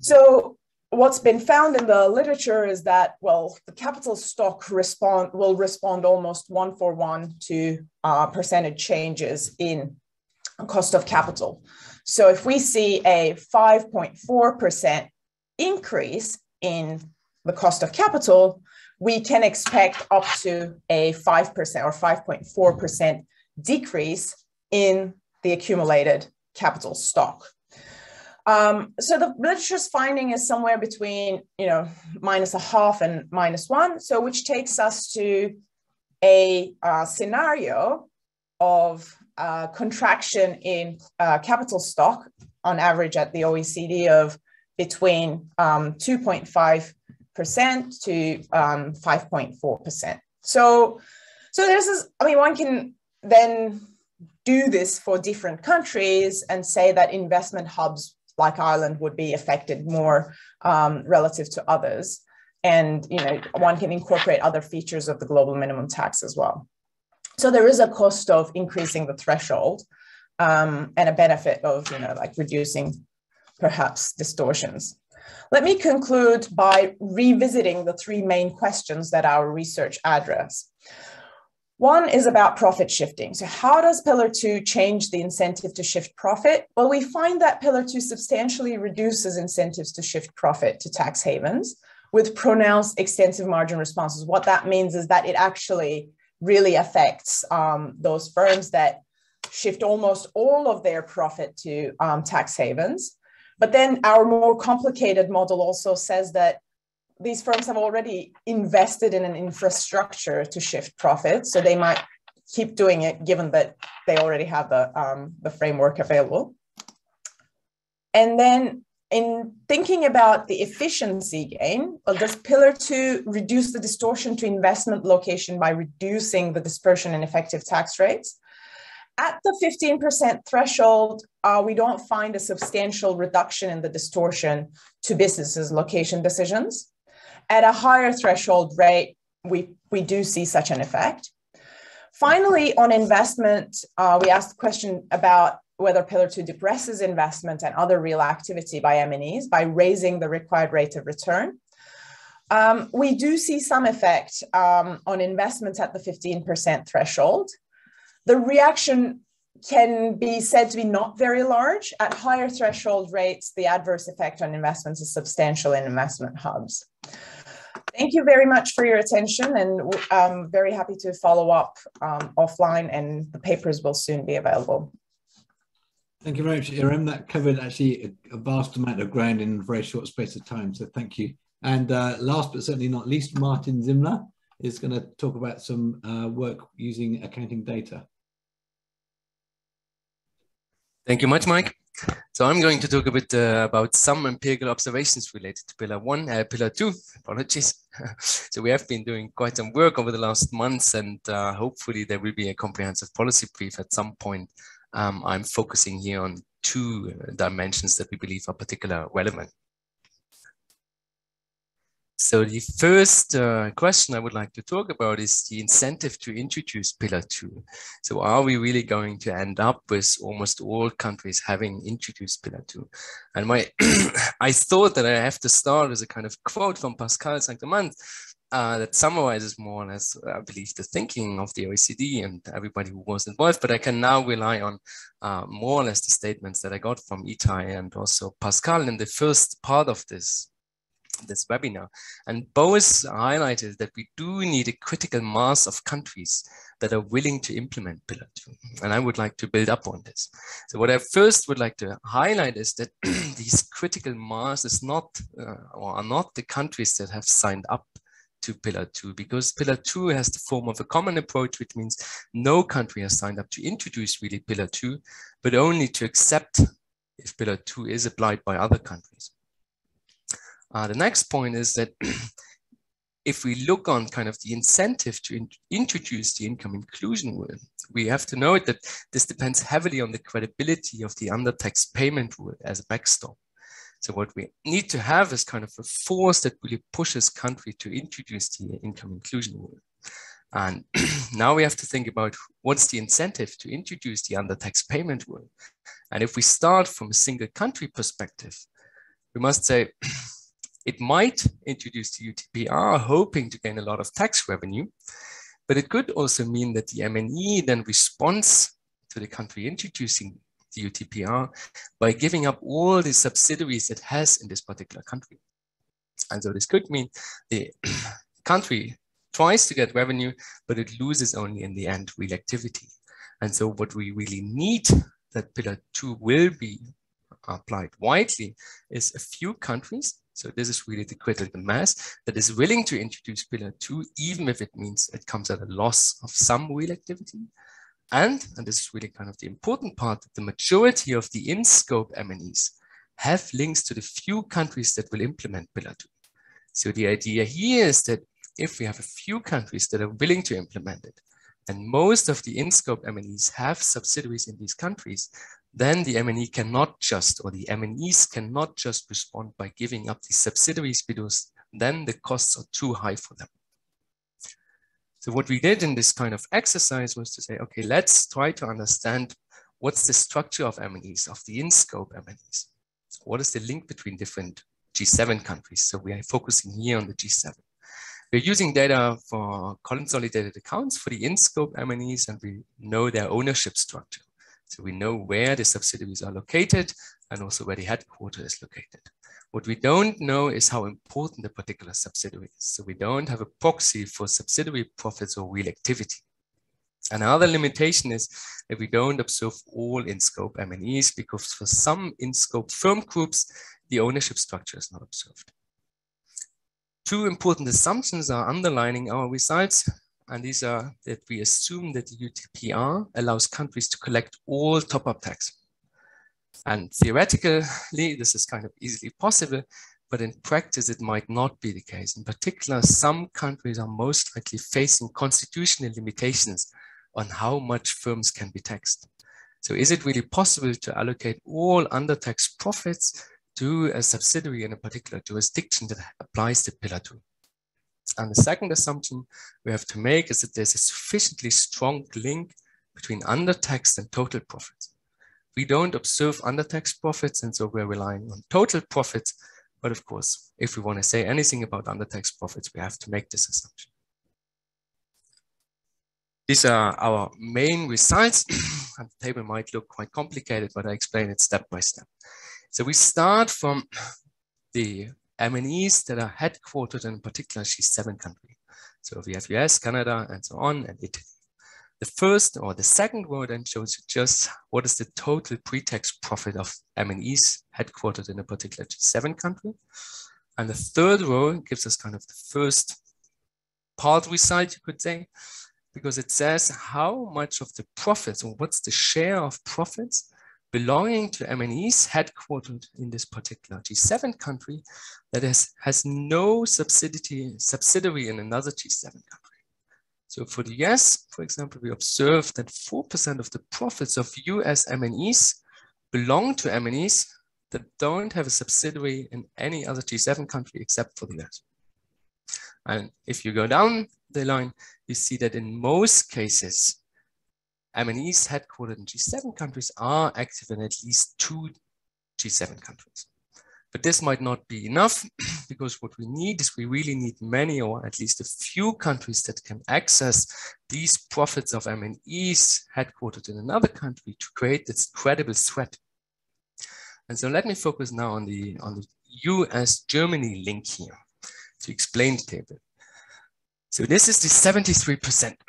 And what it means is that if Germany introduces the UTPR, it can access 73% of the profits of US MNEs. And if we look into all other bilateral pairs, we see that in most cases, this fraction is relatively high, so about above two thirds. And so this means if we would have, for example, Germany and France and the UK as this critical mass who are really willing to implement Pillar 2, this would mean the US would be almost forced to apply the IIR because they would gain the additional tax revenue, but would not really change the tax liability for the companies. And the companies can also not just give up their links in Germany, France, and UK because they would just lose a substantial part of their activity. And so the table hopefully makes sure that it's indeed only a few countries are needed to force all other countries in the G7 to implement Pillar 2. So it could be, for example, if Germany, France, UK would be willing, this seems to be enough to get at least Pillar 2 for all G7 countries. If all G7 countries would introduce Pillar 2, what we find is that about 86% of the in-scope MNEs would be subject to Pillar 2, and about 93% of the in-scope MNE profits would be subject to Pillar 2. And just as a kind of a side remark here, there are, of course, some MNEs who would not be covered or not be subject to Pillar 2. And of course, these are mainly located in Asia because the G7 has this slight West focus. And so what we can say is about 20% of the profits of MNEs headquartered in Asia would not be subject to Pillar 2. And if we would like to get them included as well, to really gain the largest coverage, what we would need to have is jurisdictions as Hong Kong or China also joining the critical mass. Since so far it seems to be in particular the EU countries who are going to introduce Pillar 2, let me just add the results for them here as well. So if only the EU countries would introduce Pillar 2, about 70% of the in-scope MNEs would be subject to Pillar 2 and around 85% of the in-scope MNE profits would be subject. The second part I would like to talk here about is the relative size of the substance-based income exclusion. So the question we are asking, what is the share of profits shielded from Pillar 2? due to the SBIE. And we are using unconsolidated financial statements of foreign-owned firms in Europe to answer this question. So we do need some information to calculate the uh, SBIE. So we don't have really all firms included in the analysis, but only subsamples. And we also have to exclude some firms. So we exclude firms with non-positive profits, because for them the tax consequences are not that obvious. We also exclude firms with negative equity because they usually struggle for uh, other reasons. What we also exclude are firms with relatively high pre-tax profits over sales, uh, because we are concerned that here this is not taxable income that is driving the profits, but non-taxable income like dividends. And the last uh, caveat is that we have to exclude firms in the Netherlands, Latvia, and Lithuania because we don't observe that many firms in these jurisdictions. So let me share the first perspective of our results, which is the firm level perspective. So here we are relating on the firm level the value of the substance-based income exclusion to pre-tax profits. So if the ratio is one, we know that all profits are shielded from pillar two.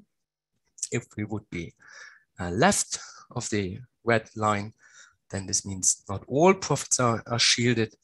And on the right-hand side of the red line, we know that there's excess SBIE. And this is quite a substantial amount as well. So the main results are that around 30% of the firms face no top-up tax due to the SBIE in the first year. And as Pascal explained in the beginning, of course, the generosity of the substance-based income exclusion decreases over time. We start with 10% of payroll and 8% of tangible assets, and then it goes down to 5% after 10 years. So then we estimate that only about 20% of the firms would face no top-up tax due to the SBIE. If we look on the average, we can say the SBIE shields about 56% of profits of the average firm in the first year and around 40% after 10 years. And for all the economists in the room who would like to know what's the ratio of SBIE to normal return, we can say if the normal return would be around 10% of equity, which seems a reasonable assumption, then the SBIE shields about 76% on average in the first year, which goes then down to 60%. So the second perspective I would like to share with you is the country level perspective. And what is important here is that when we aggregate the value of the substance-based income exclusion to profits, we ignore that some firms have unused or excess SBIE. So we limit the ratio of substance-based income exclusion to profits to one. Um, this graph shows you the share of total profit shielded um, in relationship to the tax rate or the headline tax rate in these different EU, European countries. And the first thing you can observe is that the share of total profit shielded depends relatively little on the statutory corporate tax rate or the effective average tax rate. And we did this analysis just to kind of come up with a bit of um, confidence that our results are not too much driven by focusing only on the European countries. main finding is that the share of total profit shielded is on average 33% in the first year, and this goes down to about 20% after 10 years. And as you probably already have spotted, there are kind of two types of countries. Uh, normal ones, you could say, which are really all have a share of total profit shielded around 40%, going down to maybe 35% for the high tax countries and some other countries, namely Ireland, Belgium, Malta, and Luxembourg, which have a substantially lower share of total profit shielded between 5 and 25%. That's from my side. Thank you so much, and back to Mike. Thank you very much, Martin. Uh, we are actually about out of time for the presentations. There have been uh, a few questions put into the Q&A. I suggest we hold them, see if they have time for them later, or uh, anybody who has specific questions is welcome to contact you know any of the individual researchers directly but i don't want to uh, take too much time now in having questions and holding up the next panel so uh, thanks again to those uh, to everybody who's presented there um, i hope people found that useful we are now going to move on to the panel and uh, i'm going to invite john to chair it uh, thanks, Mike. And um, I'm sorry, I lost connection right at the vital moment there. But thank you, Mike, and thank you, um, to my um, the other people who are on the, the pre on the previous session. So the session was, as you could see, based on academic research we've been undertaking at the Center for Business Taxation. But now we're going to move to a discussion. Uh, we have a very dis distinguished group of panelists who, from uh, practice and policy, but also many of them have uh, actually an involvement in tax teaching and tax research too. So I'll introduce the speakers very briefly and then we'll, each speaker will start with a brief introductory statement and then we're going to have a, a conversation and a discussion among the, about the very, uh, the very interesting issues that arose throughout the uh, uh, conference thus far. So our first speaker is Giorgia Maffini. So Giorgia is currently a special advisor on tax policy and transfer pricing at PwC. But before that, uh, Giorgia was deputy head of tax policy and statistics at the Tax Policy and Statistics Division at the, at the OECD Center for Tax Policy and Administration. And before the OECD, Giorgia was a, a dearly loved colleague at the CBT. The speaker after that is Dave Murray. Uh, Dave is head of tax policy and sustainability at Anglo American, and but he's also the chair of the CIOT International Tax Committee. The third speaker is Vicky Perry. Uh, Vicky is the former deputy director of the Fiscal Affairs Division at the IMF, and currently she's a visiting professor at Oxford. So we are very happy to have Vicky with us uh, for a year. The speaker after that will be Paul Oosterhuis, who had a very distinguished career at uh, Skadden Arps, where he is currently of counsel, but Paul also uh, teaches at Columbia University and also uh, is quite a prolific uh, writer. And uh, finally, Dan Neidle, who currently, for the next four weeks, will be a senior tax partner at Clifford Chance. But after that, Dan is retiring to set up a pro bono tax policy boutique. So fantastic uh, lineup of speakers. We'll start with a brief introductory statement and then we'll move on to a discussion. So uh, first, Giorgia. Thank you, John, and thank you very much for the invitation. Um, I think I'll be using my introductory statement to just focus our attention now the implementation, the practical implementation of Pillar 2 sometimes takes us away from some principles that have been underpinning tax policy choices and tax policy uh, and tax design for uh, a few decades. So it's not, my intervention is not about the idea of a per country minimum tax system, but it's about the practical implementation. I will use two examples. The first one is an example about uh, double taxation, and the second is an example about um, um, loss-making companies um, having to pay tax. So with respect to uh, the first example, it seems that under the Pillar 2 rules, refund of top-up taxes paid in the past will not be possible. So let's see what this means uh, uh, for the overall system. If we look, for example, at the rules for transfer pricing adjustment under Pillar 2, they seem to provide that a multinational will have to adjust its GloBE income uh, accordingly to whatever adjustment has been made in the tax return whenever there is a unilateral transfer pricing adjustment that increases or decreases the tax base in a high tax jurisdiction okay? And then a corresponding adjustment to the GloBE income needs to be made in the counterparty as well, in the other jurisdiction. So now assume that the adjustment affects past income. This is a very realistic assumption because you could be looking at an audit on past years. Also assume, again, very realistically, that the adjustment in the higher tax jurisdiction increases taxable income. And uh, also assume that the counterparty is instead in a low tax jurisdiction. Now, in that low tax jurisdiction, the income has already been taxed under Pillar 2. So there we already have uh, had uh, a top-up tax to 15%. But we said at the beginning that it seems that under Pillar 2, no refund of that top-up tax is possible.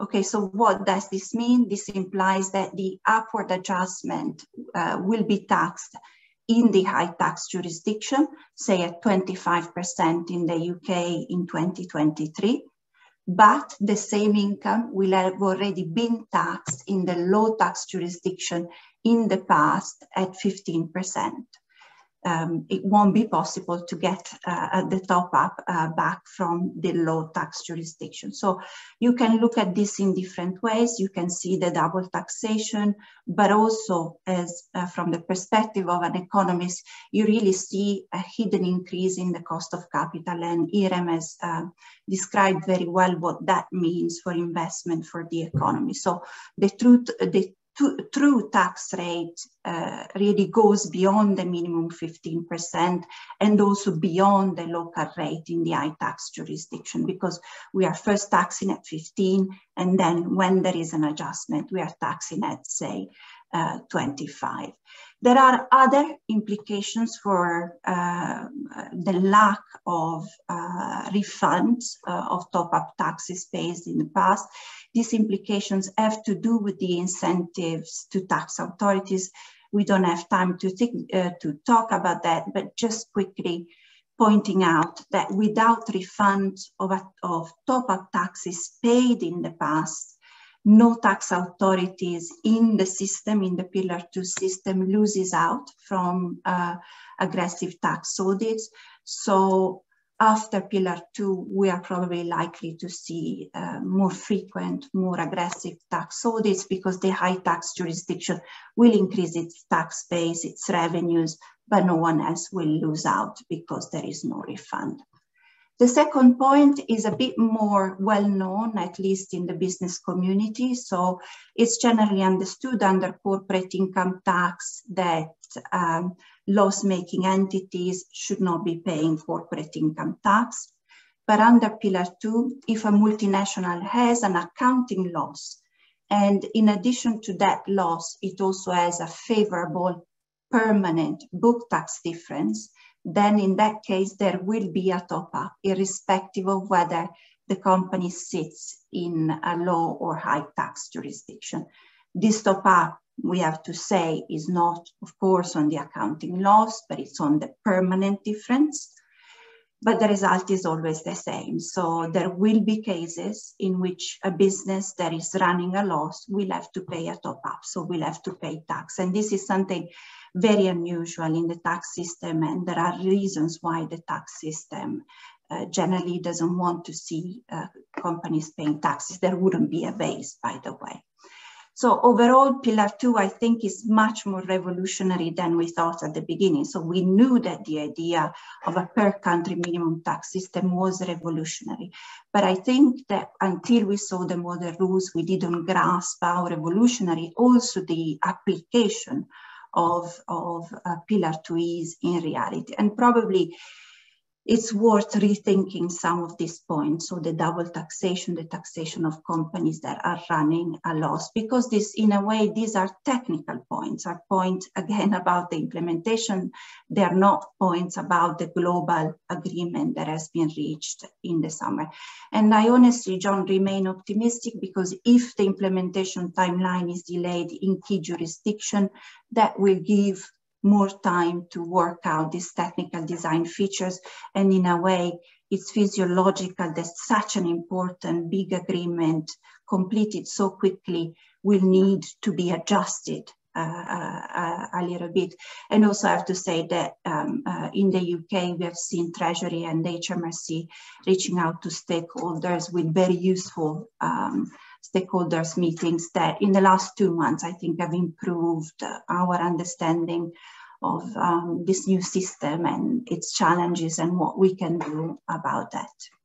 Um, and John, I think I'll stop here and see if uh, later on there are any questions. Thank you uh, very much, Giorgia. Um, David? Yeah, thanks, John. Um, Giorgia was also a beloved colleague of mine in a, in a former life. Uh, it's always hard to, to follow her, but I will, I will do my best. Um, so, I mean, this project's come a long way since it started. It's even come a long way since the blueprint, uh, actually. And there have been a number of businesses, um, our own included, who've been very engaged throughout. Um, and there have throughout been a, a range of quite different views on the policy objectives of Pillar 2, both in, in isolation and in combination with, with Pillar 1. Uh, my, my business has been quite supportive of both pillars. I think levelling the playing field, modernising the way the tax system attributes taxing rights in a way that's acceptable to countries in which we operate. You know, that, that that's positive developments uh, relative to the alternative. Uh, as an extractive business, we already pay significant tax in the countries where we generate value. And so we see that as a sort of key part of our relationship with society uh, anyway.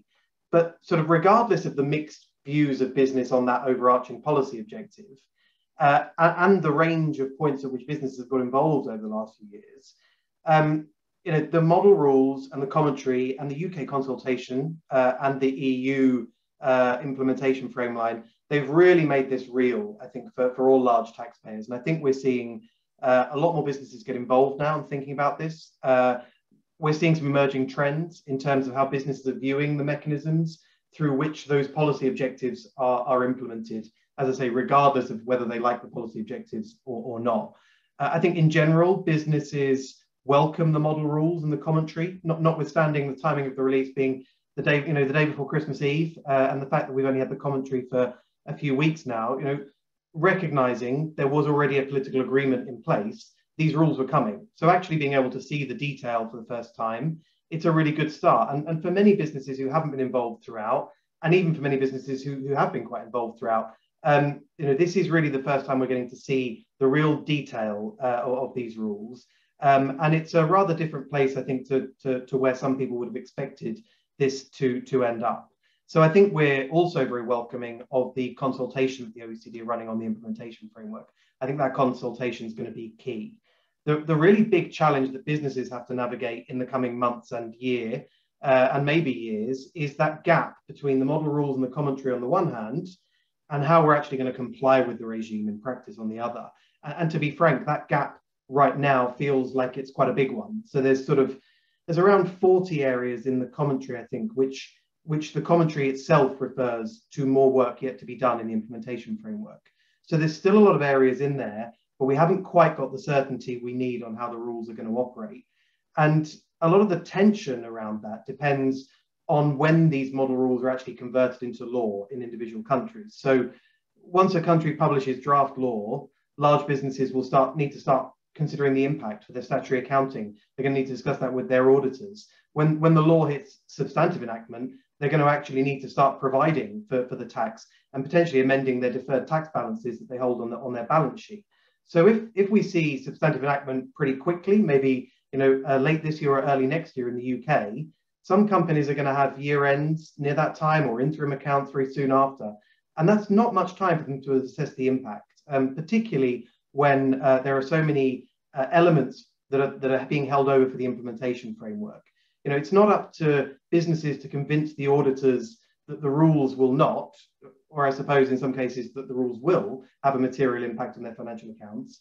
You know, it, it's it's that you have to demonstrate to your auditors that you've done the work uh, around that. And so it's really hard to say with any degree of certainty when there are so many technical uncertainties remaining, you know, what the actual impact will be. You know, these rules are really complex. They produce some outcomes that you might not expect if you're only looking at the high level political uh, commitments. So, you know, the, the lack of full recognition for deferred tax or the way that joint ventures or partially owned parent entities are going to be taken into account. You know, I'm not here to argue with the policy decisions on those, but it, I think it is important to know that it's not just as simple as looking at your accounting ETR, but corporates are going to be put in, in positions where they have to have really assessed the impact of this far beyond the date they, you know, far in advance of the date that they just have to comply with the rules and, and pay an additional tax. So I've certainly been going for five minutes. So, you know, I will close by saying that like Giorgia, I'm optimistic that all these challenges and uncertainties can be addressed in the implementation framework and probably through lots of hard work from corporates as well, building the systems in advance of some of those uncertainties being resolved. But the accelerated and concurrent timelines to pass the law while still dealing with the open questions in the implementation framework is, uh, is certainly going to give businesses real challenges in the meantime. And I would encourage you know, all businesses to really start thinking about this as soon as they can. Thank you very much, uh, David. Um, Vicky? Thank you, John. And uh, thanks to everybody for having me. Um, so my role is just to speak briefly um, to put a little more emphasis on low income countries. And by that, I'm referring to um, actual sort of source company countries, the recipients of foreign direct investment, not to what we might call, think of as uh, tax planning hubs, um, low tax countries, but low income countries. Um, the provisions of Pillar 2 should certainly have significant effect on how uh, low income developing countries um, it will certainly have a big impact on them. And I would certainly agree with Pascal and other speakers who've made this point um, that this will be a positive impact. Um, the Pillar 2 top-up tax regime uh, will provide indirectly a floor on tax competition. That's all been referred to. Um, since somewhere the multinational group will be paying an effective tax rate of 15% uh, on excess profit um, whatever they may be paying in the low income country. And that point's been made all along, all during the process of developing uh, the minimum tax. Um, but since we since December, it's clear that greater direct benefits can now be obtained relative to what we were expecting as late as last October because of the introduction of the QDMTT, the Qualified Domestic Minimum Tax con concept, and its positioning as first in the hierarchy of assigning the top-up tax, if any. And I would echo what I think was clear from what others have said, some others, that there would seem to be no reason for low-income countries that are or that even hope to be importers of capital investment not to adopt the qualifying domestic minimum tax um, and therefore to receive directly any increase in effective GloBE covered taxes um, that are paid with respect to a covered activity in their own jurisdiction um, how many sub-Saharan African countries, for example, would be home to investment by in-scope MNE groups? Certainly, and thinking of that we just heard from Dave, uh, certainly most or all of the major natural resource exporters will be. And at the least, many other countries will have multinational affiliated companies that are uh, providing telecommunications um, in their country. So what should they do? Um, or what should we think about uh, Pillar 2? Again, against the background that I would say this is a very good thing. Um, a quibble with the SBIE. Um, certainly, many who have spent their life working on increasing domestic revenue mobilization in low income countries, uh, many of my former colleagues, would prefer that the SBIE had not been included, that is that the minimum effective rate apply to the full return to the MNE activity and not just the supranormal or excess profit return above real activity. But it does have to be recognized that in fact, many low income countries did not feel that they could stop competing through tax for, for investment. Um, the vast majority of, for example, sub-Saharan African countries um, do offer some kinds of tax incentives for investment, the vast majority, if not all. And frequently they offer that in the least uh, effective form, which is tax holidays. That practice has increased hugely over the past 25 years. Tax competition, to state the obvious, is not just about headline tax rates. It's grown exponentially through incentive competition. And this, uh, despite quite a lot of analysis showing that tax incentive grants aren't particularly effective or at best constitute a kind of losing prisoner's dilemma situation for the countries in the region, low income countries. And despite an ever increasing need, even worse now that we've had the COVID crisis for raising domestic revenue. But here we are. Um, and as you've heard, the SBIE does have some effect on how these countries can compete with each other. I'd just like to focus though for a moment on non-qualified domestic minimum tax minimum taxes roughly a third of sub-Saharan African countries now have a domestic minimum tax based on turnover. And I differentiate that from sort of small minimum taxes from turn on turnover that are used as presumptive taxes for little businesses. These are essentially add-on minimum taxes of the kind that some um, practitioners in advanced countries will be familiar with. Um, they typically create an add-on minimum tax above otherwise applicable regular corporate income taxes. So like Pillar 2, but domestically, they set a kind of floor under overall tax payments by any particular company. it's worth noting that those type of turnover minimum taxes are not, it appears, covered taxes for purposes of Pillar 2, but they would reduce the financial accounting profit base, and thus um, they would generally wind up reducing any top-up tax, but by nowhere near at a one-for-one ratio. So this is less key if the country is also adopting QT, QDMTT um, to collect the top-up tax itself.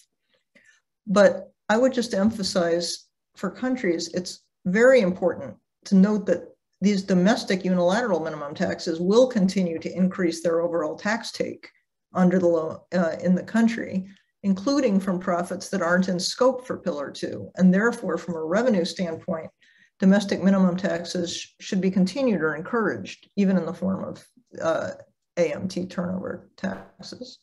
Pillar 2 shouldn't disincentivize their use since they already exist and they existed before Pillar 2 was even thought of. Um, just a quick note on the, um, I'm conscious of the time, but a quick note on the subject to tax rule, which I believe Pascal alluded to. Um, this is the one that will permit low income countries to demand that their higher income treaty partners under existing treaties adjust the bilateral withholding rates. Um, where effective taxation on the receiving end of the payment is less than 9%. Um, this is considerably below the Pillar 2 minimum effective rate, although perhaps that shouldn't be particularly surprising since the 9% applies to gross payments, not profits. So as far as it goes, this provision uh, should be a good thing for many developing countries, some of which uh, might have or uh, develop buyer's remorse with some of the provisions that have been signed in bilateral tax treaties. Um, and in many cases, the, these bilateral reductions have been a, a primary instrument for profit shifting. Um, and in fact, demands for including such bilateral treaty provisions with low withholding have been a means of tax competition in many cases. Um, and they're certainly a factor in reducing domestic taxes. Um, but the rule applies to interest and royalty payments. And as important as these are, the rule as it's now envisioned, though it's not been elaborated, would not cover other important ways of stripping income out of low income countries, um, especially technical and management service fees, which are uh, of late of great importance in the UN. Some of you may know the UN has been focused on these types of payments in its uh, model treaty recently. But again, bottom line, it would be undoubtedly, to the extent that this applies, it's, it's a good idea to take advantage of it. Uh, and finally, referring to, uh, Giorgia talked about uh, transfer pricing adjustments um, and their possible impact on timing and, and, uh, and non-refundability.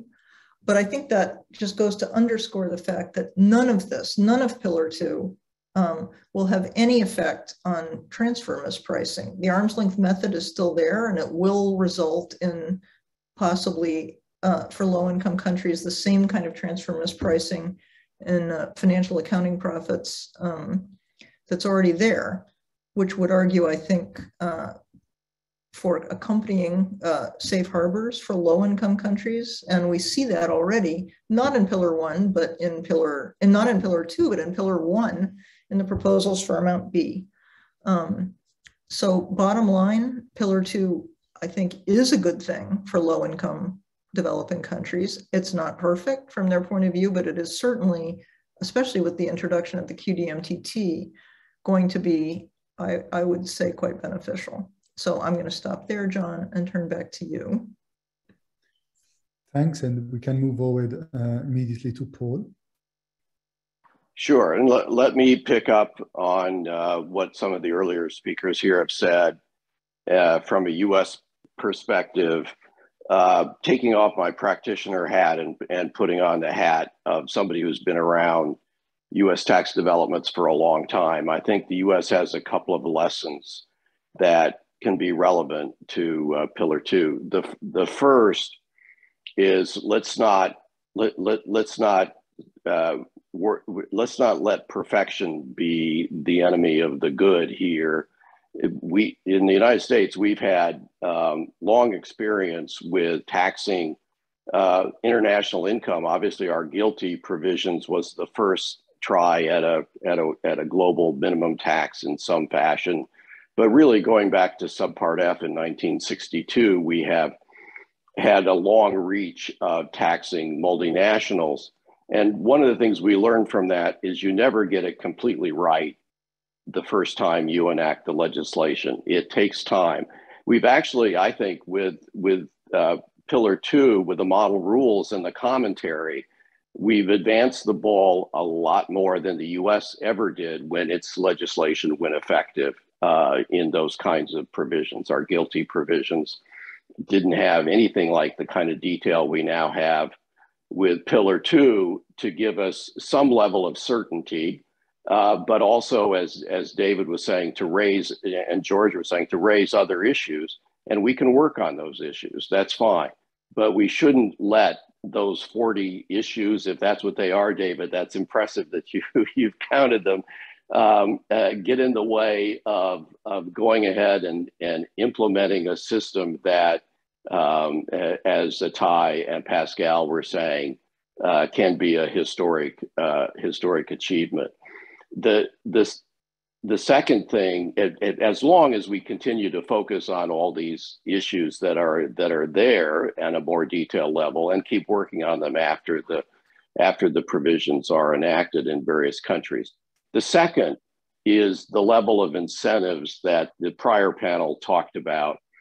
And it, it seems to me that this project has evolved um, somewhat, both with the uh, with the QDMTT and with the substance-based income exception to, to being re really a, a, a, constraint on tax competition for businesses that earn excess returns and not necessarily uh, tax competition on, on real economic activities like hiring people uh, and investing in plant and equipment.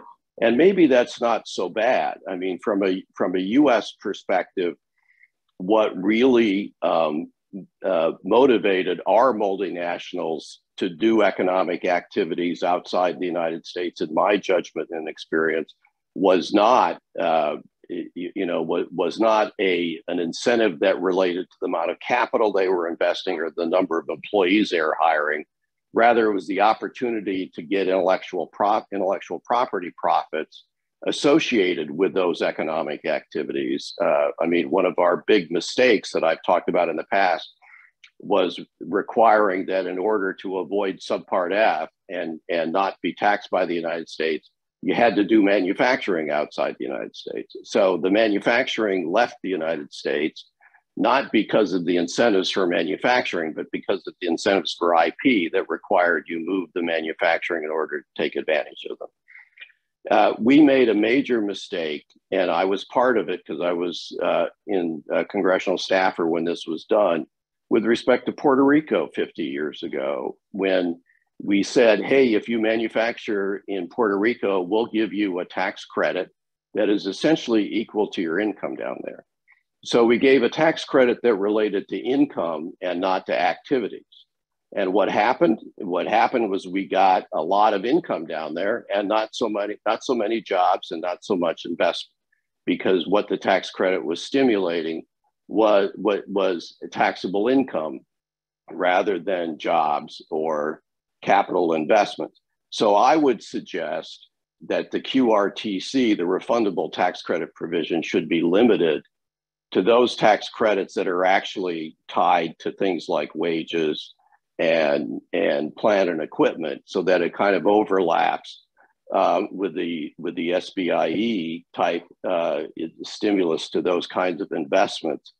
Because to my mind, if if there are those limitations on both the, the credit mechanism for achieving tax competition and the SBIE, SBIE mechanism for achieving it, um, it, it may well have some incentive in some places for you know whether it's uh, clothing manufacturing or something else to uh, to move locations. But in terms of the major multinationals that have excess profits, it just doesn't move the needle that much, in, in my judgment. Uh, Kim Clausing had a uh, uh, testimony before the Senate Finance Committee and a paper she did before she became Deputy Assistant Secretary that showed uh, from country by country reporting the ratio of um, of assets to profits and employees to profits in the tax in various tax haven jurisdictions compared to that in other jurisdictions.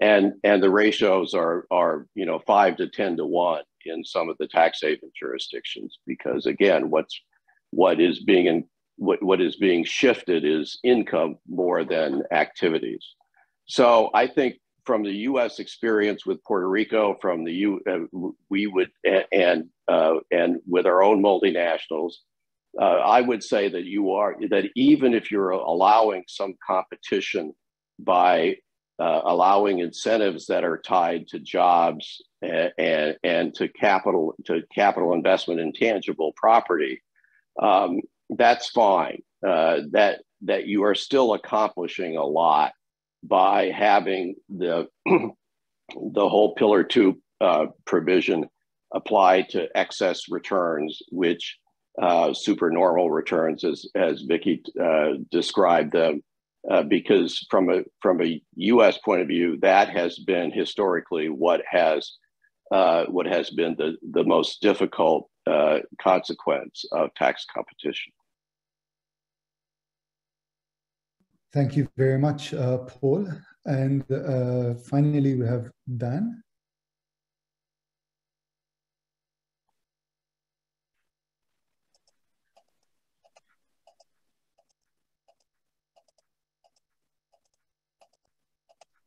I can't hear you, Dan. I'm not sure if it's just me, but I, I couldn't hear you just then.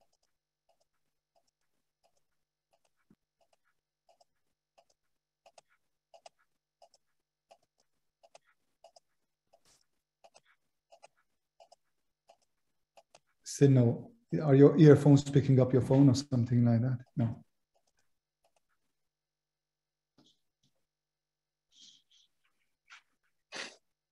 You can't hear me? No, we can. You can hear me. Excellent. I'm very sorry about that.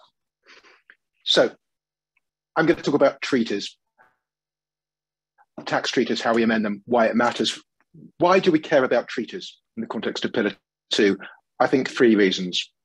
First, the STTR, very relevant to developing countries, will require treaty change.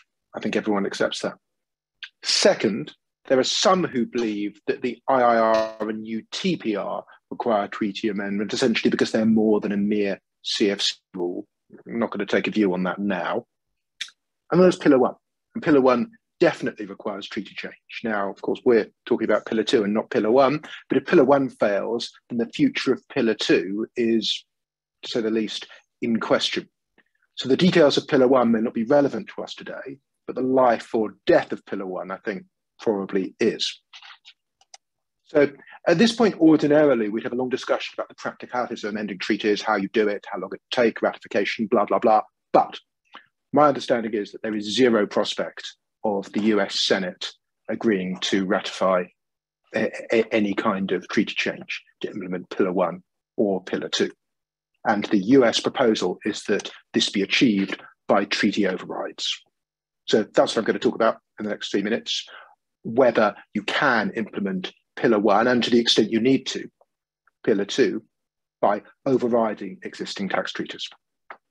The US answer appears to be yes, yes, of course you can. Why is this an issue? Because in the US they override treaties all the time. And the same is true to a much lesser degree in the UK and a number of other states that are dualist, meaning, of course, that they're states where international treaties have no force of law domestically. You have to implement domestically separately to give the treaty life. On the other hand, in monist jurisdictions where treaties automatically have force of law, the question of whether you can override a treaty is often a difficult one. Now, there are some monist states which expressly have constitutional rules which tell you that international treaties have precedence over domestic law. So you cannot conceptually override a treaty in these countries. Uh, some examples. I should say, when I mention individual countries, I have not done a full literature review, and no one's been stupid enough to pay us to investigate this in detail. So, so what I say should be viewed as tentative. But I believe Czech Republic, Slovak Republic, Greece, Spain, Croatia all have constitutional rules, which essentially make a treaty override impossible. There are other monist states which don't have a constitutional rule, but it's generally accepted that, that you can't override treaties. Uh, Italy, Portugal, Kazakhstan have been mentioned. About other dualist countries, I said the UK and the US are straightforward. Some others aren't. Now, people often disagree whether Germany is monist or dualist. And for many years, it was in Germany a general view treaties were unconst- treaty overrides were unconstitutional.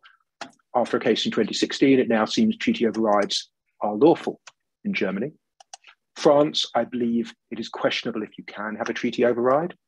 Finland and Sweden, that the point has been litigated, rather complex results, but that was in the context of CFC rules. So the position is probably more complex and uncertain when it comes to Pillar 1 and Pillar 2. And what about the EU, itself? It may be desirable in the end to implement Pillar 1 and, of course, Pillar 2 by directives, but no EU directive can breach international law. A treaty override, is it a breach of international law when it's a very peculiar form of treaty override that all parties may actually agree to, even if they're not amending the treaty? So, what does this mean? I think it means that in some countries, there may be an obstacle to Pillar 1 and to the extent you need to amend treaties, Pillar 2 implementation. And that is either going to stop them implementing in that way or create the potential for uncertainty and litigation. If they do, it means there's a potential coordination problem with the any EU implementation, and again, risk, risk of litigation. So, my view is that this turns the question of the constitutional status of treaty overrides from the academic question it's been for many years into quite an important practical question, which could, in the worst case scenario, mean that Pillar 1 becomes unimplementable, and that in turn could be a serious problem for the implementation of Pillar 2. Thank you very much, uh, Dan. Now, um, I, I had thought of a few questions to ask, um, but, but one question which, my, which arises to my mind from all your presentations is what is still up for grabs, as in what changes can still be made? Um, and um, I, I, was thinking about this because think about Giorgia's, uh, um, the issues that Giorgia uh, highlighted about um, the possible double taxation that can arise in practice and some of the issues that Dave uh, mentioned also about the, some of the difficulties with the current model rules. So one question, you know, made me think, okay, but can we still, is it still possible to change model rules or, or is your understanding that those rules are what we have and, and now we need to move on? And I'm asking this, Giorgia, particularly because at one stage, Pascal today said, um, you know, we have to find proper ways to deal uh, with double taxation. So there seems to be at least a you know, and, and the inclusive framework documentation said, you know, throughout the process, you know, one, we have to design rules which don't give rise to double taxation. So if now, once the rules have been produced, we have identified issues of double taxation, what does that mean? Does it mean we can go back and revise the rules? Is still, is this, is your understanding that this is still uh, on the table? John, so I have to say that I don't do that job anymore, so I really don't know how much latitude we have to change the rules.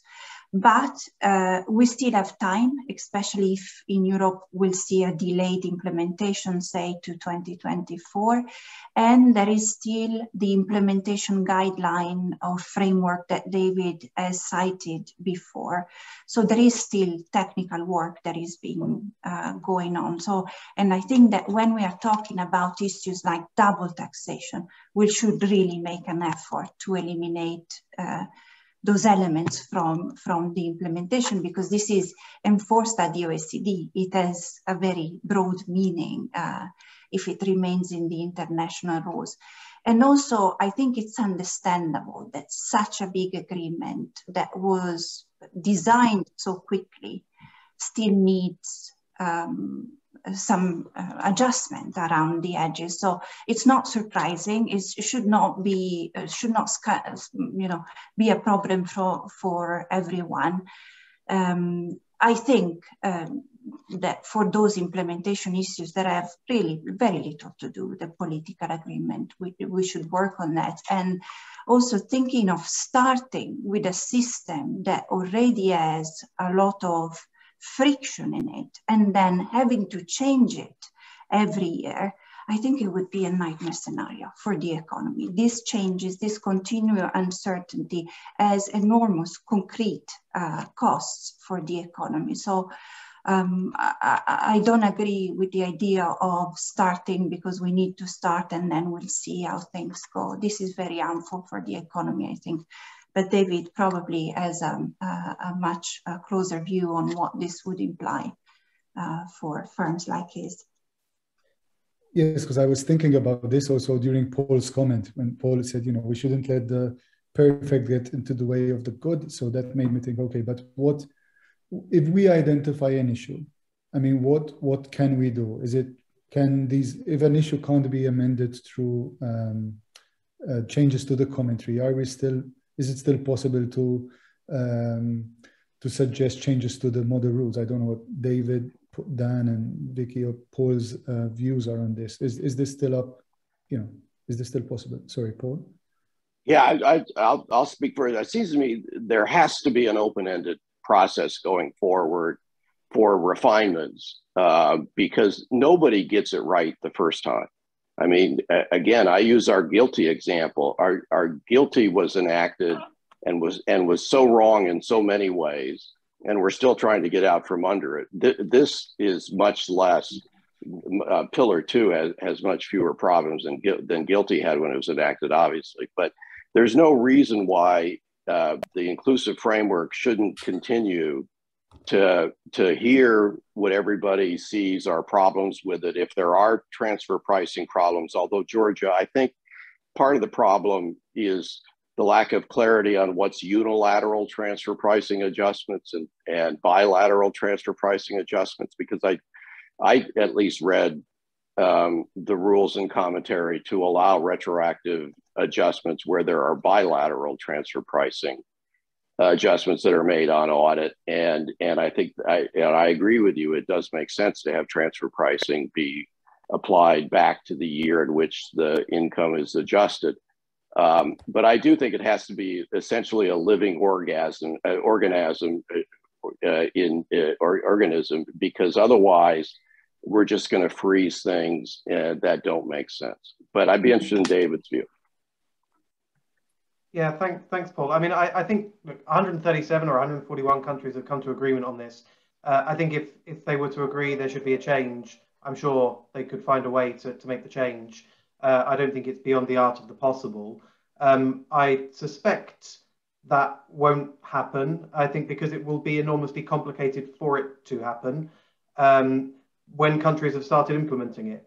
Uh, and I think that's really where the, the, the rubber hits the road. And, and I, I, I, don't know enough about GILTI to, to comment on, on, on Paul's comment that you know, GILTI had more things wrong with it. But I think when you have 137 countries and not all 137 are going to implement them next year, but a number of them are going to implement them, implement these rules soon. I think when you get to that point where the rules are being implemented, it becomes more complicated to change the underlying source document. Um, when when a big part of the, the the agreement is that countries will not divert too far from that source document. So I think um, the I think most of the areas where perhaps there would need to be a, a, change, as people might see it, would probably be best dealt with through the implementation framework. Um, because a big part of this agreement is around uh, qualifying regimes, qualifying domestic minimum taxes, qualifying refundable tax uh, credits. You know, all of these things are going to be implemented by multiple countries in slightly different ways. There isn't yet any clarity on what will make any of these regimes qualifying, as far as I can tell. Um, you know, we wouldn't expect the odd word of the model rules being changed would result in a regime becoming non-qualifying. But how much wiggle room is there? And, and if there is a little wiggle room in how they're implemented and how they're assessed and who qualifies them and under what circumstances, um, then I think I think that really relieves a lot of this tension in the system around, you know, these are the model rules, you implement model rules and, and you can't depart from them.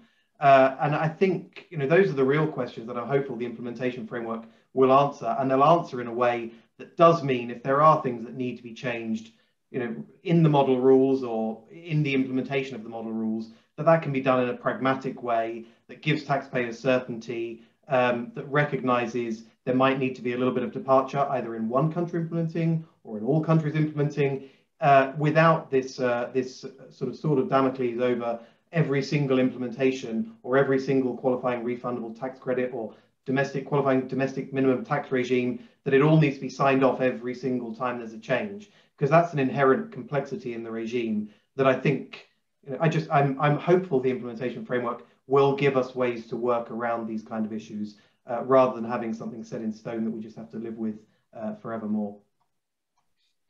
Yeah, so I mean, just thinking about it. Um, so let's say, um, what, what if a country says, "Look, I, I signed up to this to the um, political agreement on, on, in October, but that was based on my understanding that we could still compete by offering qualifying refundable tax credits." Um, I mean, could they? Um, could we now? Are we now saying that we can? You know, the countries, the critical mass can turn around and say, "Okay, whatever we agreed on qualifying refundable tax credit at the time the political agreement was reached." is now going to be narrowed and you can have um, you know you can what you if you thought you could compete uh, through this channel now uh, that channel has been significantly uh, narrowed for you so there's there's this level i think at which it becomes interesting as to you know if if um, are we bound by what was agreed at a certain point because that's when countries gave a political agreement to and we can think about this at a this technical level but there's also the bigger picture issue, which, which Dan brought up and Sol Picciotto has commented on, and I thought was very striking. In, um, so Pascal made a comment which seemed to be different to the comment I've heard other people make in the past. So in the past, Pillar 1 and Pillar 2 were always sold as a package. So I, have heard time and again that Pillar 1 and Pillar 2 are not intellectually or conceptually linked, but they're linked politically, and countries are agreeing to one package. Uh, you know, and some countries might agree to pillar two, even though they're not very keen on it because they're, you know, the trade-off is other countries are going to agree to pillar one, even though they're not very keen on it. But it, I heard Pascal today said that pillar two will happen, you know, and then whether pillar one happens or not, that's a separate question. I, I found that quite striking. I don't know if the rest of you did. Um, so one, did I hear Pascal correctly when he said that? And um, Two, I'd like to ask Paul, uh, is your assessment of the chances of Pillar 1 uh, being adopted in the US as uh, pessimistic as Dan's? So by adopted, well, rat ratified by, by, well, by, the Senate as a treaty amendment.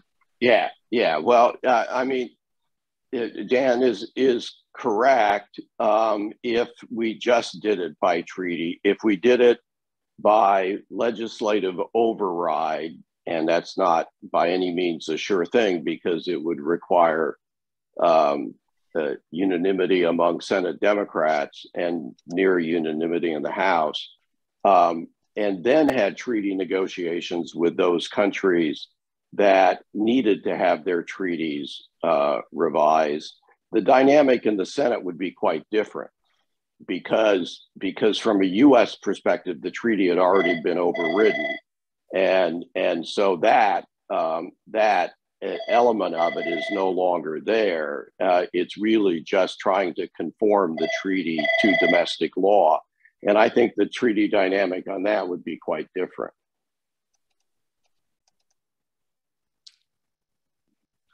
Okay, so Paul is is um, so you are you saying you're less uh, pessimistic as, as well? I'm, I'm I'm I'm pessimistic about getting legislation done. I think that that um, that you know is probably going to depend on the outcome of the elections this year because if we uh, if if the Democrats lose the House or the Senate, then it's got to be bipartisan. And at this point, Pillar One is not doesn't see show many signs of being bipartisan. Um, so um, you know we we probably uh, if, if if we have a shift in the House or the Senate, we probably have a stalemate uh, on whatever is not enacted this year. And clearly, Pillar One's not going to be enacted uh, this year. Whether Pillar Two get, whether the Biden administration's changes that would give us a qualified IIR, at least hopefully give us a qualified IIR, will get enacted. That's that's you know, that's not terribly likely right now either. So um, we're not we're not in good shape from the point of view of Pillar One and Pillar Two in the United States these days. But so put in another way, and, and I'll open this up. Do you think some countries will be surprised to hear that Pillar Two is going ahead, and that you know there's been a decoupling of Pillar One and Pillar Two? Um, well, the, I mean, the wasn't the UK the main country that really insisted on the linkage? Maybe there were others, uh, but in the UK, I, I take it the D linkage is now accepted, given that the UK corporate rate's going up to 25%. But also the, the, the creation of these domestic top up taxes means that there's much more in it for the UK and, and other European jurisdictions in Pillar 2 than, than there was in its initial conception. So perhaps the UK and some others will be more willing to never have Pillar 1, but that's clearly not true for all. Of the recent EU Council discussion, there were some countries that, that were really very resistant to the idea of a legal delinking. And even the others, there was pretty general agreement that the mechanism was a package and the Commission was going to present an announcement to confirm that they were viewed as a package, albeit no legal linkage. Okay, did anyone else have uh, comments on this or can we move on to another point? Okay, so the other point I wanted to um, to to ask you about is is that of incentives. So I heard uh, Itai say that it's important that Pillar 2 does not uh, remove countries' ability to provide uh, Pigouvian subsidies. Um, but I also heard uh, Pascal talk about you know a volume of wasteful tax incentives. So there seem to be uh, you know uh, so pillar two will have an impact on on countries' abilities to provide incentives, but there's also this sense that we don't want uh, incentives to be um, too much of a of an open door which allow countries uh, to compete uh, to compete strong. Now, uh, BIAC have, have written a letter to the OECD um, raising some concerns about uh, the impact, the negative impact of Pillar 2 on incentives. So I, I, thought I'd start by asking Dave and, and, and others whether you were concerned that Pillar 2 could have a negative impact on countries' ability to provide incentives to, for green investment, et cetera, et cetera.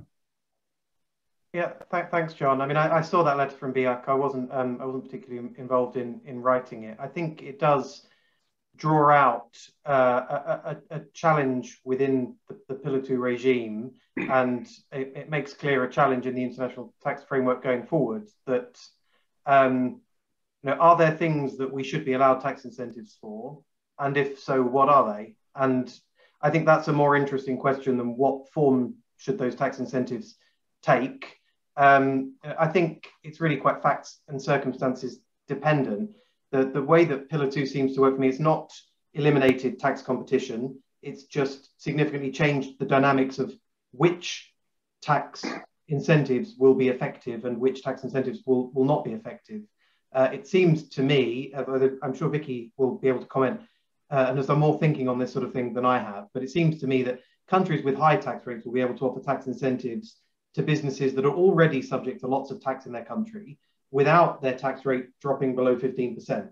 Um, but for countries with lower tax rates, or for those that may have high tax rates but want to attract investment from a new investor that doesn't have lots of taxable presence already in their country, um, the incentives, the traditional tax incentives that just lower the rate, they'll be much less effective uh, for, for, in that in that type of scenario than they would be for a country that's already got a taxpayer there that it wants to give a tax incentive for that's already paying a high rate of tax, unless, of course, they're using qualifying refundable tax credits, which which in themselves will require a much earlier cash outflow than a tax holiday or a reduced rate would. So you know, there are options to use these tax incentives, but they may not be as appealing to countries because they're going to require an earlier cash outflow.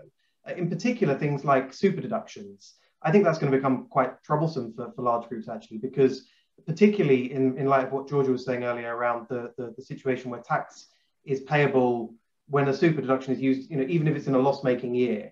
So if you've got a long life investment that's going to generate a few years of losses before becoming profitable, you'd actually be worse claiming the super deduction in the in the loss making early years than than if the super deduction hadn't been available at all because you'd have a top up tax in those early investment years when you've not got the profits to pay.